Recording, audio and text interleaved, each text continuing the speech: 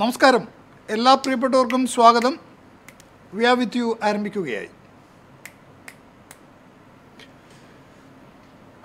ഇന്ന് എന്നോടൊപ്പം ഈ പ്രോഗ്രാമിൽ പങ്കെടുക്കുന്നു advocate Y R Raheem advocate Arunkumar Shri Sherif Karassery Shri Moideen Koya Shri advocate Saleem ചോലമുക്കും.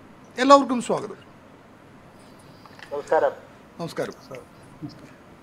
ഇന്ന് നാം ചർച്ച ചെയ്യുന്ന വിഷയം നമ്മൾ കുറച്ച് ദിവസമായി പ്രവാസി സംഘടനകളുടെ അവരുടെ റോളും അത് എത്രത്തോളം പ്രാധാന്യമുള്ളതാണെന്നും അങ്ങനെയുള്ള പല കാര്യങ്ങൾ പ്രവാസി സംഘടനകളെപ്പറ്റി നാം ചർച്ച ചെയ്തു.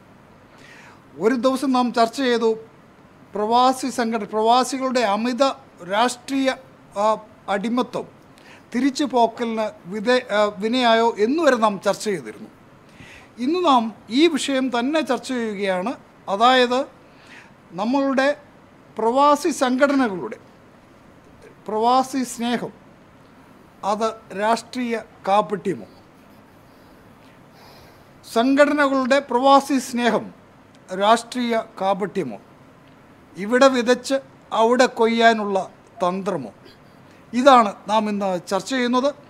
ഇത് ചർച്ച ചെയ്യാനായി പ്രധാന കാരണം ഇന്നലെയും കഴിഞ്ഞ ദിവസങ്ങളിലുമൊക്കെയായി എൻ ടി വി നടത്തിയ ചർച്ചകൾ അതായത് കോവിഡ് ടെസ്റ്റുമായി ബന്ധപ്പെട്ട ചർച്ചകൾ. അതിന് അനുബന്ധമായി ഇന്നലെ സി പി എമ്മിന്റെ സംസ്ഥാന സെക്രട്ടേറിയറ്റ് മെമ്പറുമായി നടത്തിയ ചർച്ച. അതിൽ അദ്ദേഹം തന്ന വാക്ക്.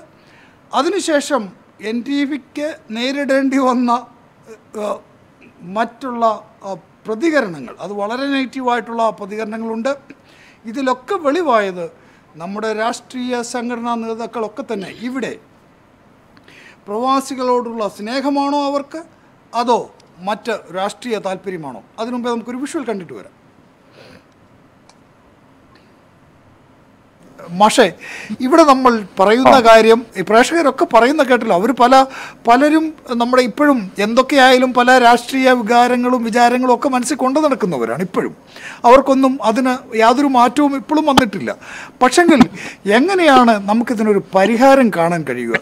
കേരള ഗവൺമെന്റ് മുമ്പോട്ട് വെച്ച ഈ ഒരു ആശയത്തെ പിന്തുണച്ചുകൊണ്ട് സൗദി ഗവൺമെന്റിനോടും കുവൈറ്റ് ഗവൺമെന്റിനോടും ഒമാൻ ഗവൺമെന്റിനോടും ഖത്തറിനോടും മസ്കറ്റിനോടും ബഹറിനോടും ഒക്കെ ചോദിച്ചുകൊണ്ട് ഇത്തരം കാര്യങ്ങൾ ചെയ്യുമെന്ന് അങ്ങേക്ക് തോന്നുന്നുണ്ടോ? അങ്ങനെ ചെയ്തില്ലെങ്കിൽ എന്താണ് ഈ മലയാളികളെ തിരിച്ചു കൊണ്ടുപോകാനുള്ള ഒരു പോംവഴി? ഇവരിവിടെ കിടന്നോട്ടെന്നാണോ? ഒരിക്കലും അല്ല ഇപ്പോൾ ഇപ്പോ ഗൾഫ് മേഖല മുഴുവൻ നമ്മൾ പ്രത്യേകിച്ച് യു എ മേഖല മുഴുവൻ റാപ്പിഡ് ടെസ്റ്റ് നടത്തിയിട്ട് കൊണ്ടുപോകാനുള്ള സൗകര്യമായല്ലോ. അതെ. രാജ്യങ്ങളിലെ പ്രത്യേക ആപ്പ് ഉണ്ടാക്കിയിട്ട് അത് ഗ്രീൻ ഉള്ളവർക്ക് മാത്രമേ പ്രവേശനമുള്ളൂ. എവിടെ എയർപോർട്ടിൽ പോലും. അങ്ങനെയാണ് ചില രാജ്യങ്ങൾ. അപ്പൊ അവരെ അവിടെ പ്രത്യേക പരിശോധനയുടെ കാര്യം വരാത്തവർക്ക് കയറാൻ പറ്റില്ല. അപ്പോൾ അവിടെ അവർ പ്രത്യേകം പിന്നെ ബാക്കി വരുന്ന ഏറ്റവും പ്രധാനമായിട്ട് ബാക്കി വരുന്നത് സൗദി തന്നെയാണ്. റാപ്പിഡ് ടെസ്റ്റിന് വലിയ പ്രശ്നമില്ല. മറ്റെല്ലാ ഗൾഫ് രാജ്യങ്ങളിൽ അപ്പോൾ സൗദിയിലെ പ്രശ്നം എന്തിനാണ് പരിഹരിക്കേണ്ടത് എന്നത് സംബന്ധിച്ച് കേന്ദ്ര ഗവൺമെന്റിനോട് ഞങ്ങൾ ഇപ്പോൾ പറഞ്ഞിട്ടുണ്ട്. ഇപ്പോൾ ഉള്ള അവസാനത്തെ ചർച്ചയിലും പറഞ്ഞിട്ടുണ്ട്. പറഞ്ഞിട്ടുണ്ട്. അതനുസരിച്ച് അവരവിടെ റാപ്പിഡ് ടെസ്റ്റ് നടത്താൻ ആവശ്യമായ സംസ്ഥാനം ഗവൺമെന്റുമായിട്ട് ബന്ധപ്പെട്ട് കേന്ദ്ര ഗവൺമെന്റ് ഉണ്ടാക്കണം. അങ്ങനെ ഉണ്ടാക്കുന്നില്ല എങ്കിൽ എല്ലാവരുടെയും അഭിപ്രായങ്ങൾ എന്താണ് നമുക്ക് നോർക്കോ കേരള ഗവൺമെന്റിനോ അല്ലെങ്കിൽ സന്നദ്ധ പ്രവർത്തകർക്കോ അവരുടെ സംഘടനകൾക്കോ എന്തൊക്കെയാണ് ചെയ്യാൻ സാധിക്കുക എന്നുള്ളത് ആലോചിക്കും. ഈ സൗദിയിലും മറ്റ് സൗദിയിലും മറ്റു രാജ്യങ്ങളിലും ഒക്കെയുള്ള സൗദിയിലാണ് ഇപ്പോൾ ഇതിന്റെ ഭാഗമായിട്ട് പ്രശ്നമുള്ളത്. സൗദിയിലെ പ്രശ്നം പറ്റിയുള്ള ഫലപ്രദമായ കേന്ദ്ര ഗവൺമെന്റ് നടത്തണം. കേന്ദ്ര ഗവൺമെന്റ് നടത്താതിരിക്കുകയും അവർക്ക് വരാതെ കഴിയാതിരിക്കുകയും ചെയ്യുന്ന പ്രായോഗിക പ്രശ്നം വരുമ്പോൾ നമുക്ക് ഗൗരവപൂർവം ഗവൺമെന്റിനും അതുപോലെ തന്നെ ഈ പറയുന്ന എല്ലാ നേതൃത്വം അതുപോലെ സന്നദ്ധ പ്രവർത്തകർക്കും എല്ലാം കൂടി ആലോചിക്കാം.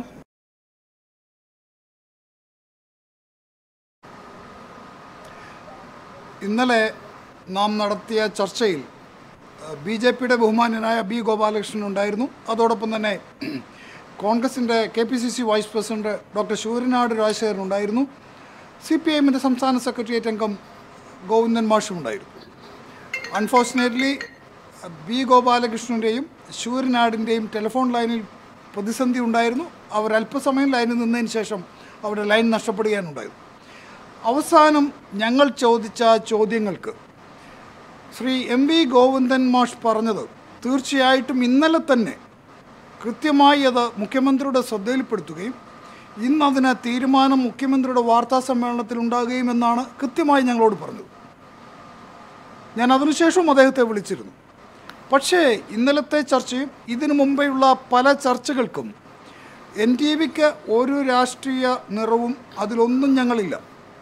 മറിച്ച് ഇവിടെയുള്ള ഏകദേശം മുപ്പത്തഞ്ച് ലക്ഷത്തോളം വരുന്ന മലയാളികളുടെ പ്രവാസികളുടെ ഇൻട്രസ്റ്റാണ് ഞങ്ങളുടെയും താല്പര്യം. എന്നാൽ അതിന് രാഷ്ട്രീയ നിറം കൊടുത്തുകൊണ്ട് എൻ ഡി വി ആക്രമിക്കുന്ന തരത്തിലേക്ക് ചിലരൊക്കെ പോയെന്നുള്ളത് മാറ്റിവെക്കാം. അതിനിപ്പുറം നമ്മുടെ മുൻ മുഖ്യമന്ത്രിയുടെ പോസ്റ്റ് ഈ പ്രവാസികൾക്ക് കോവിഡ് ടെസ്റ്റ് ഇടപെടുത്തിയത്. അവരുടെ മരണത്തിലേക്ക് നടത്താനുള്ള വഴിയാണെന്നുള്ള പോസ്റ്റ് ഇവിടുത്തെ പല നേതാക്കന്മാരും പോസ്റ്റ് ചെയ്തു. പല സംഘടനകളും അതുപോലെയുള്ള കമന്റുകൾ എഴുതി.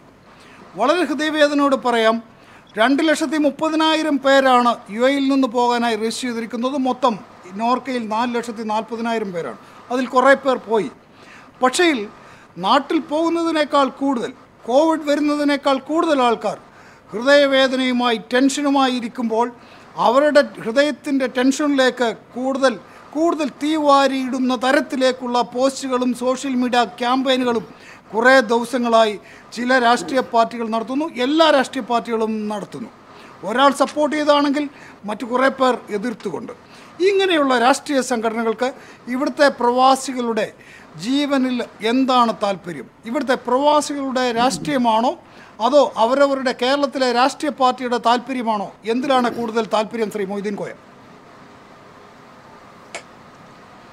ഇത് തീർച്ചയായിട്ടും ഞാൻ മുമ്പൊരു ചർച്ചയിൽ പറഞ്ഞതുപോലെ എല്ലാ രാഷ്ട്രീയ പാർട്ടികളും രാഷ്ട്രീയ മുന്നണികളും ഒരു മേശയ്ക്ക് ചുറ്റും ഇരുന്ന് സൊല്യൂഷൻ കാണേണ്ട പ്രശ്നമാണ്.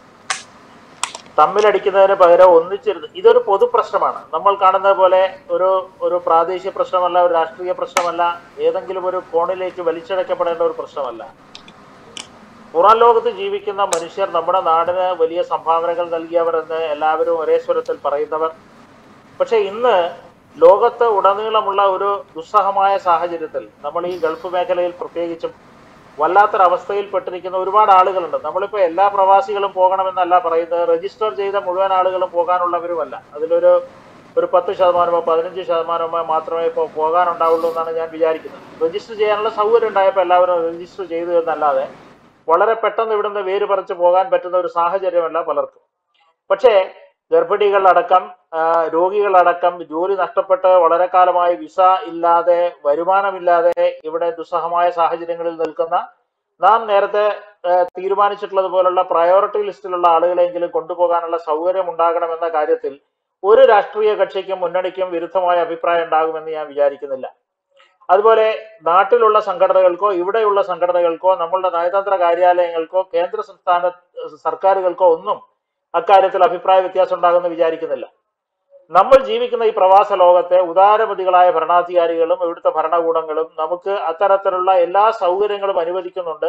അവർ അവരുടെ ദേശീയ വിമാന കമ്പനികളുടെ വിമാനങ്ങൾ പോലും നമുക്ക് ചാർട്ടർ ചെയ്ത് ഓടിക്കാനോ അല്ലാതെയോ നമ്മളെ റിപ്പാറ്റർ ചെയ്യുന്നതിന് നമ്മുടെ ആളുകളെ നാട്ടിലേക്ക് അയക്കുന്നതിന് സഹായകമായിട്ട് അവർ ഉപയോഗിക്കാൻ തയ്യാറാണ്. അപ്പൊ എല്ലാ ഘടകങ്ങളും നമുക്ക് അനുകൂലമാണ് എന്നിരിക്കെ എന്തുകൊണ്ട് ഇതിൽ ഏകസ്വരം ഉണ്ടാകുന്നില്ല എന്നത് ചിന്തിക്കേണ്ട വിഷയമാണ്. എല്ലാ അങ്ങേക്ക് അങ്ങേക്ക് കേൾക്കാമെങ്കിൽ ഇന്നലെ ഇവിടെ വളരെ കൃത്യമായി നമുക്കറിയാം. യു എയിൽ നിന്നും ഖത്തറിൽ നിന്നും പോകേണ്ടവർക്ക് ടെസ്റ്റിന്റെ ആവശ്യമില്ല ഞാൻ ടെസ്റ്റ് ഒരു എക്സാമ്പിളായി എടുക്കുന്നത് മാത്രമേ ഉള്ളൂ. പക്ഷേ അങ്ങനെയുള്ള യു എയിൽ വസിക്കുന്ന മലയാളികൾ പോലും വളരെ വളരെ നിരുത്തരവാദപരമായിട്ടുള്ള ഫേസ്ബുക്ക് പോസ്റ്റുകൾ ഇടുന്നു.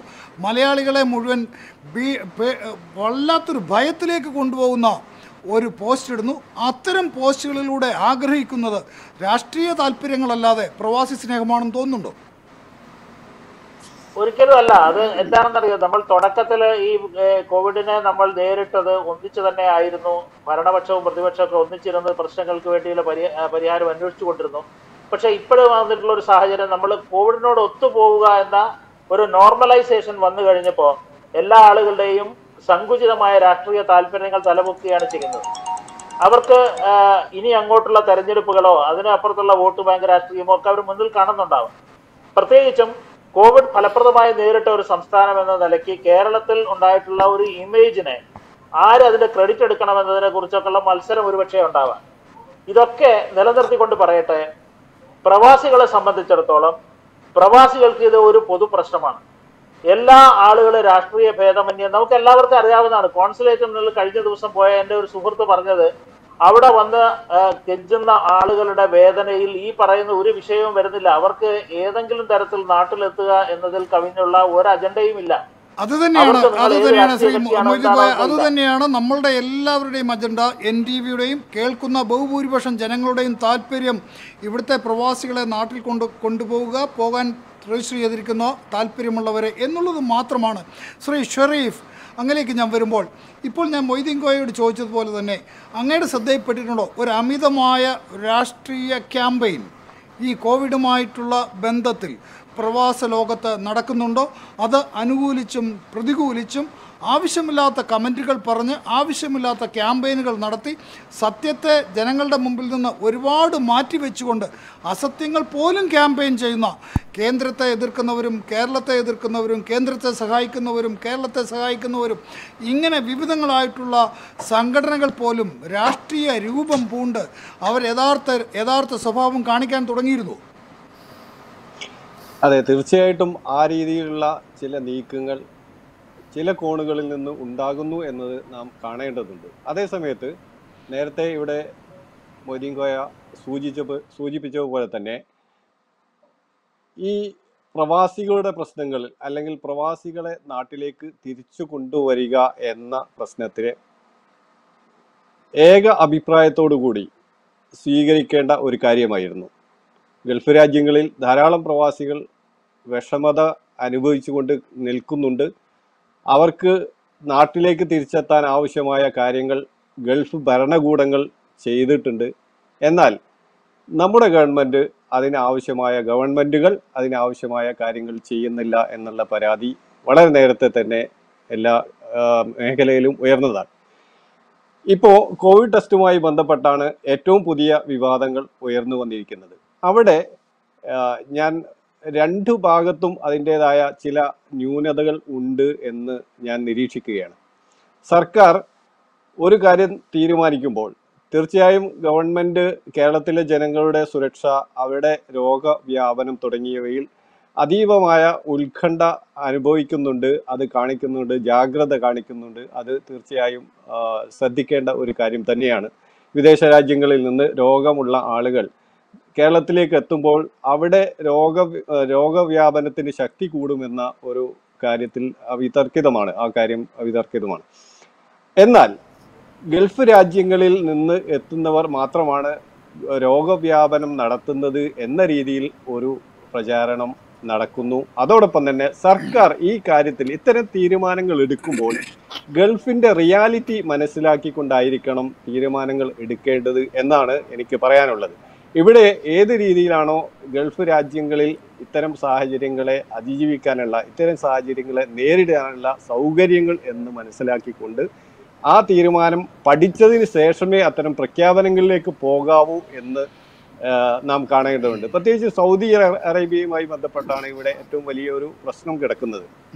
അവിടെ റാപ്പിഡ് ടെസ്റ്റിന് സൗകര്യം ഇല്ല എന്ന് നമുക്കറിയാം. അതുപോലെ തന്നെ നോർമൽ ടെസ്റ്റിനും അവിടെ സൗകര്യം വളരെ പരിമിതമാണ് അല്ലെങ്കിൽ വളരെ വലിയ രീതിയിലുള്ള സംഖ്യ അതിന് ചെലവായി വരികയും ചെയ്യുകയാണ് അപ്പോൾ ആ സാഹചര്യത്തിൽ പ്രവാസികളിൽ ഏറ്റവും കൂടുതൽ ആളുകൾ ഷെറീഫ് എന്റെ വിഷയം നമ്മളിന്ന് പ്രധാനമായി ചർച്ച ചെയ്യാൻ ഉദ്ദേശിക്കുന്ന വിഷയം അതെ, ഞാൻ അതിലേക്ക് കടന്നു വരികയാണ്. ന്യായ അന്യായങ്ങളെ പറ്റി അല്ല. അല്ല അതിലേക്ക് കടന്നു വരികയാണ്. അപ്പോ അതിലേക്ക് കടന്നു വരികയാണ്. ആ വിഷയം കൈകാര്യം ചെയ്യുമ്പോൾ ഗവൺമെന്റ് നേരത്തെ ഒരു പ്രഖ്യാപനം നടത്തുന്നതിന് മുമ്പ് അവിടെയുള്ള സാമൂഹ്യ ചുറ്റുപാടുകളെ കൂടി പരിഗണിച്ചുകൊണ്ട് പ്രഖ്യാപനം നടത്തുകയായിരുന്നുവെങ്കിൽ അവിടെ നമുക്ക് വലിയ ഒരു ഒരു ഒരു പ്രതിഷേധം ഉണ്ടാകുന്ന സാഹചര്യം ഇല്ലാതാവും. അതേ സമയത്ത് പ്രവാസികൾ ഇവിടെ വലിയ ഒരു പ്രതിസന്ധിയിൽ നേരിട്ടുകൊണ്ടിരിക്കുകയാണ്. മാനസികമായി അവർ തളരുന്ന ഒരു സാഹചര്യം പല പല ഘട്ടങ്ങളിലും നാം കണ്ടവരാണ്. അവരെ കൂടുതൽ ഈ രീതിയിലേക്ക് തള്ളിവിടുന്ന സമീപനം പ്രവാസി സംഘടനകളും രാഷ്ട്രീയ പാർട്ടികളും നടത്തരുത് എന്ന് തന്നെയാണ് നമുക്ക് അഭ്യർത്ഥിക്കാനുള്ളത്. അവർ ആ രീതിയിൽ അത്തരം ഒരു ക്യാമ്പയിൻ നടത്തുന്നത് തീർച്ചയായും ഗുണത്തെക്കാളേറെ അത് ദോഷം ഉണ്ടാക്കുന്നത് അഡ്വക്കേറ്റ് അരുൺ. കുമാർ അഡ്വക്കേറ്റ് അരുൺ കുമാർ അങ്ങ് ഇന്ത്യ ഭരിക്കുന്ന പാർട്ടിയുടെ സഹയാത്രികനാണ്. നിങ്ങൾക്കും പല കഥകളും പറയാൻ കാണും. ഇതുപോലെ നമ്മുടെ പ്രവാസികാര്യ അല്ലെങ്കിൽ വിദേശകാര്യ സഹ മന്ത്രി ബഹുമാനപ്പെട്ട മുരളീധരനും അദ്ദേഹത്തിനെതിരെയും ഇതുപോലുള്ള കുറേ ക്യാമ്പയിനുകളൊക്കെ നടത്തിയിട്ടുണ്ട്. പക്ഷേ നിങ്ങളാരും പരസ്യമായിട്ട് അത് പ്രതിരോധിക്കുന്നതായി കാര്യമായി കണ്ടിട്ടില്ല. അതെന്താണ് നിങ്ങളുടെ ഒരു അതങ്ങ് അംഗീകരിക്കുന്ന തരത്തിലുള്ളതായിട്ടാണോ അതോ പ്രതികരിക്കുന്നില്ല എന്ന് കരുതിയതാണോ സി ഇത് നമ്മൾ ശ്രദ്ധിക്കേണ്ട ഒരു കാര്യം. ലോകം മുഴുവൻ ഒരേ അവസ്ഥ ഓരോ അവസ്ഥയിലൂടെ കടന്നു പോകുന്ന ഒരു സാഹചര്യം. ഇത്തരമൊരു സാഹചര്യം നമ്മളുടെ ഈ തലമുറയ്ക്ക് പരിചിതമല്ല. ഇത് ആദ്യമായിട്ടാണ് നമ്മളത് കാണുന്നത്. സ്വാഭാവികമായിട്ടും ഇത് ചൈനയിൽ പൊട്ടിപ്പുറപ്പെടുമ്പോൾ ഉണ്ടാകും. എന്ത് എന്ത് സംഭവിക്കും? ഇത് ലോകം മുഴുവൻ പടരുമോ എന്നുള്ള കാര്യത്തിൽ നമുക്ക് സംശയമുണ്ടായിരുന്നു. വീണ്ടും ഇത് ലോകരാജ്യങ്ങളിലേക്ക് എത്തുന്നു. ഇത് നമ്മളിങ്ങനെ നോക്കി നിൽക്കുവാണ്. എന്താണ് സംഭവിക്കുന്നത് നമുക്കറിയില്ല.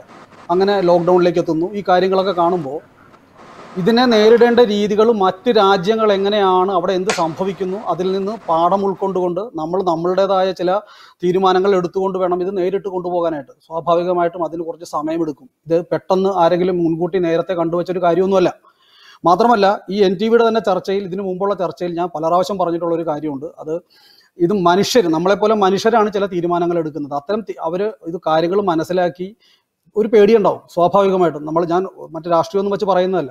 എങ്ങനെയായിരിക്കും എന്നുള്ള കാര്യത്തിൽ നമുക്കൊരു ഒരു ഒരു ഒരു കൺസേൺ ഉണ്ടാവും. ആ കൺസേൺ ഒക്കെ ഓവർകം ചെയ്തിട്ട് ചർച്ചകൾ നടത്തി കാര്യങ്ങളിലേക്ക് വന്നു ലോക്ക്ഡൗൺ വേണോ അതോ ഫ്ലൈറ്റ് എല്ലാ കാര്യങ്ങളിലും ഒരു തീരുമാനമെടുത്ത് ഇതിന്റെ ഇടയിൽ ഈ ഗ്യാപ്പാണ് ഇപ്പൊ അങ്ങ് പറഞ്ഞ പോലെ ഈ ഗ്യാപ്പാണ് ഈ ചില തൽപര കക്ഷികൾ ഉപയോഗിക്കുന്നത്. സത്യമാണ് ഉപയോഗിച്ചില്ല എന്ന് പറയാൻ പറ്റില്ല. ഈ ഗൾഫിൽ നടന്ന സോഷ്യൽ മീഡിയ വ്യാപകമായ സോഷ്യൽ മീഡിയ പ്രചരണം നാം എല്ലാം കണ്ടതാണ്. ചില പത്രപ്രവർത്തകർ ഓരോ മണിക്കൂറിലും ഫേസ്ബുക്ക് ലൈവ് ഇട്ട് ജനങ്ങളെ പാനിക്കാക്കി ആത്മഹത്യയുടെ വക്കിൽ വരെ എത്തിക്കുന്നത് വെറുതെ അല്ല എന്റെ ഒരു സുഹൃത്ത് സൈക്കോളജിസ്റ്റ് പറഞ്ഞത് എത്രയോ ആളുകൾ അവരെ വിളിക്കുകയാണ് പേടിപ്പിച്ചിട്ട്. ഇങ്ങനെ ഞങ്ങൾക്ക് ഞങ്ങൾ ഇവിടെ കിടന്ന് മരിക്കേണ്ടി വരുമോ? ഞങ്ങൾക്ക് പോകാൻ പറ്റില്ലേ? പിന്നെ ഫ്ലൈറ്റ് ഉണ്ടാകുമോ ഫ്ലൈറ്റ് ഉണ്ടെങ്കിൽ തന്നെ ഒന്നര ലക്ഷം രൂപ ചാർജ് ആകും ആദ്യമൊക്കെ ഒന്നര ലക്ഷം രൂപ ചാർജ് രണ്ട് ലക്ഷം രൂപ ചാർജ് ആകും ഒരു കോൾ ഉണ്ട്. അരുൺ ഒരു കോൾ ഉണ്ട്. ഹലോ ഹലോ നമസ്കാരം. ഹലോ നമസ്കാരം. പേര് പറഞ്ഞോളൂ. എന്റെ പേര് അജിത്. പറയൂ. ഞാൻ അബുദാബിന്ന് വിളിക്കുന്നത്. പറഞ്ഞോട്ടെ. സാറേ സാർ ആ. ഞാൻ എന്റെ ജോലി പോയിട്ടിപ്പോ രണ്ട് രണ്ടര മാസമായി. ഞാൻ റൂമിലിരിക്കുകയാണ് ഇത് ആ. ഞാനൊരു മാസത്തോളം നമ്മുടെ നാടിന് വേണ്ടി കുഴപ്പമില്ല. ഇതൊരു ഇങ്ങനത്തെ സിറ്റുവേഷനാണ് അത് കാരണം കൊണ്ട് നാട്ടിൽ പോകാൻ പറ്റില്ല കുഴപ്പമില്ല. അങ്ങനെ കടിച്ചു പിടി ഇരുന്നു. ഇപ്പൊ വല്ലാത്തൊരു മാനസികാവസ്ഥയില്ല ഞാൻ. എനിക്ക് ടിക്കറ്റ് കിട്ടുന്നില്ല. അതുപോലെ ഇവിടെ എത്രയോ നമ്മുടെ സഹോദരങ്ങൾ മരിച്ചു വീണു. അപ്പൊ അത് ഈ ഇന്നലെ മിനിഞ്ഞാന്നൊക്കെ ഞാൻ ട്രൈ ചെയ്തിരുന്നു ഈ ചർച്ചയിൽ വിളിക്കാൻ വേണ്ടി. എന്റെ പോലെ ഒരുപാട് ആൾക്കാർ ഇങ്ങനെ വിഷമങ്ങൾ അനുഭവിക്കുന്നുണ്ട്. തീർച്ചയായിട്ടും പേരെന്താണ് പറഞ്ഞത് അജിത്ത് അജിത്ത്. അജിത്ത് അല്ലേ ശ്രീ അജിത് ഇപ്പോൾ അബുദാബിയിൽ നിന്ന് എന്റെ കൂടെ ഈ ചാനൽ ചർച്ചയിൽ രണ്ട് സുഹൃത്തുക്കൾ പങ്കെടുക്കും. സലീം അബുദാബി അല്ലേ സലീം ചോല മുഖത്ത് എന്ന് പറയുന്ന അഡ്വക്കേറ്റും അതോടൊപ്പം തന്നെ മൊയ്തീൻ കോയ എന്ന് പറയുന്ന ആളും എന്റെ കൂടെ ചർച്ചയിലുണ്ട്. അങ്ങേ കേട്ടുകൊണ്ടിരിക്കുകയാണ് അതോടൊപ്പം തന്നെ അബുദാബി ഇന്ത്യൻ സോഷ്യൽ സെന്റർ ഉണ്ട് അവിടെ ഇസ്ലാഹി സെന്റർ ഉണ്ട് കെ എം സി സി ഉണ്ട് ശക്തി തിയേറ്റേഴ്സ് ഉണ്ട് കെ എസ് സി ഉണ്ട്. സാറ് ഞാൻ ജോലി പോയ അന്നോട്ട് നോർക്ക തൊട്ട് എല്ലാത്തിലും രജിസ്റ്റർ ചെയ്തിട്ടുണ്ട്. എനിക്ക് കുടുംബമുണ്ട് എനിക്കൊരു മകനുണ്ട്. എനിക്ക് വീട്ടിലത്തെ ആഗ്രഹമുണ്ട്.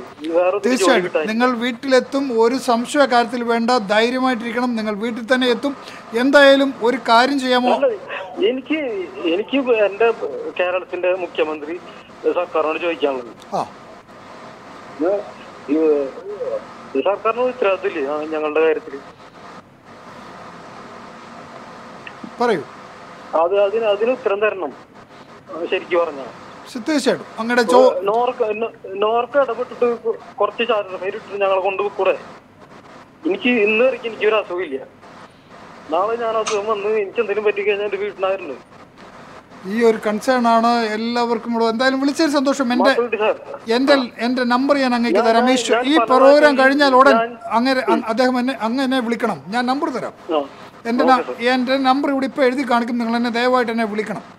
കേട്ടോ? തീർച്ചയായിട്ടും വിളിക്കണം. നമുക്ക് പരിഹാരം കാണാം. ധൈര്യമായിട്ടിരിക്കൂ. കേട്ടോ?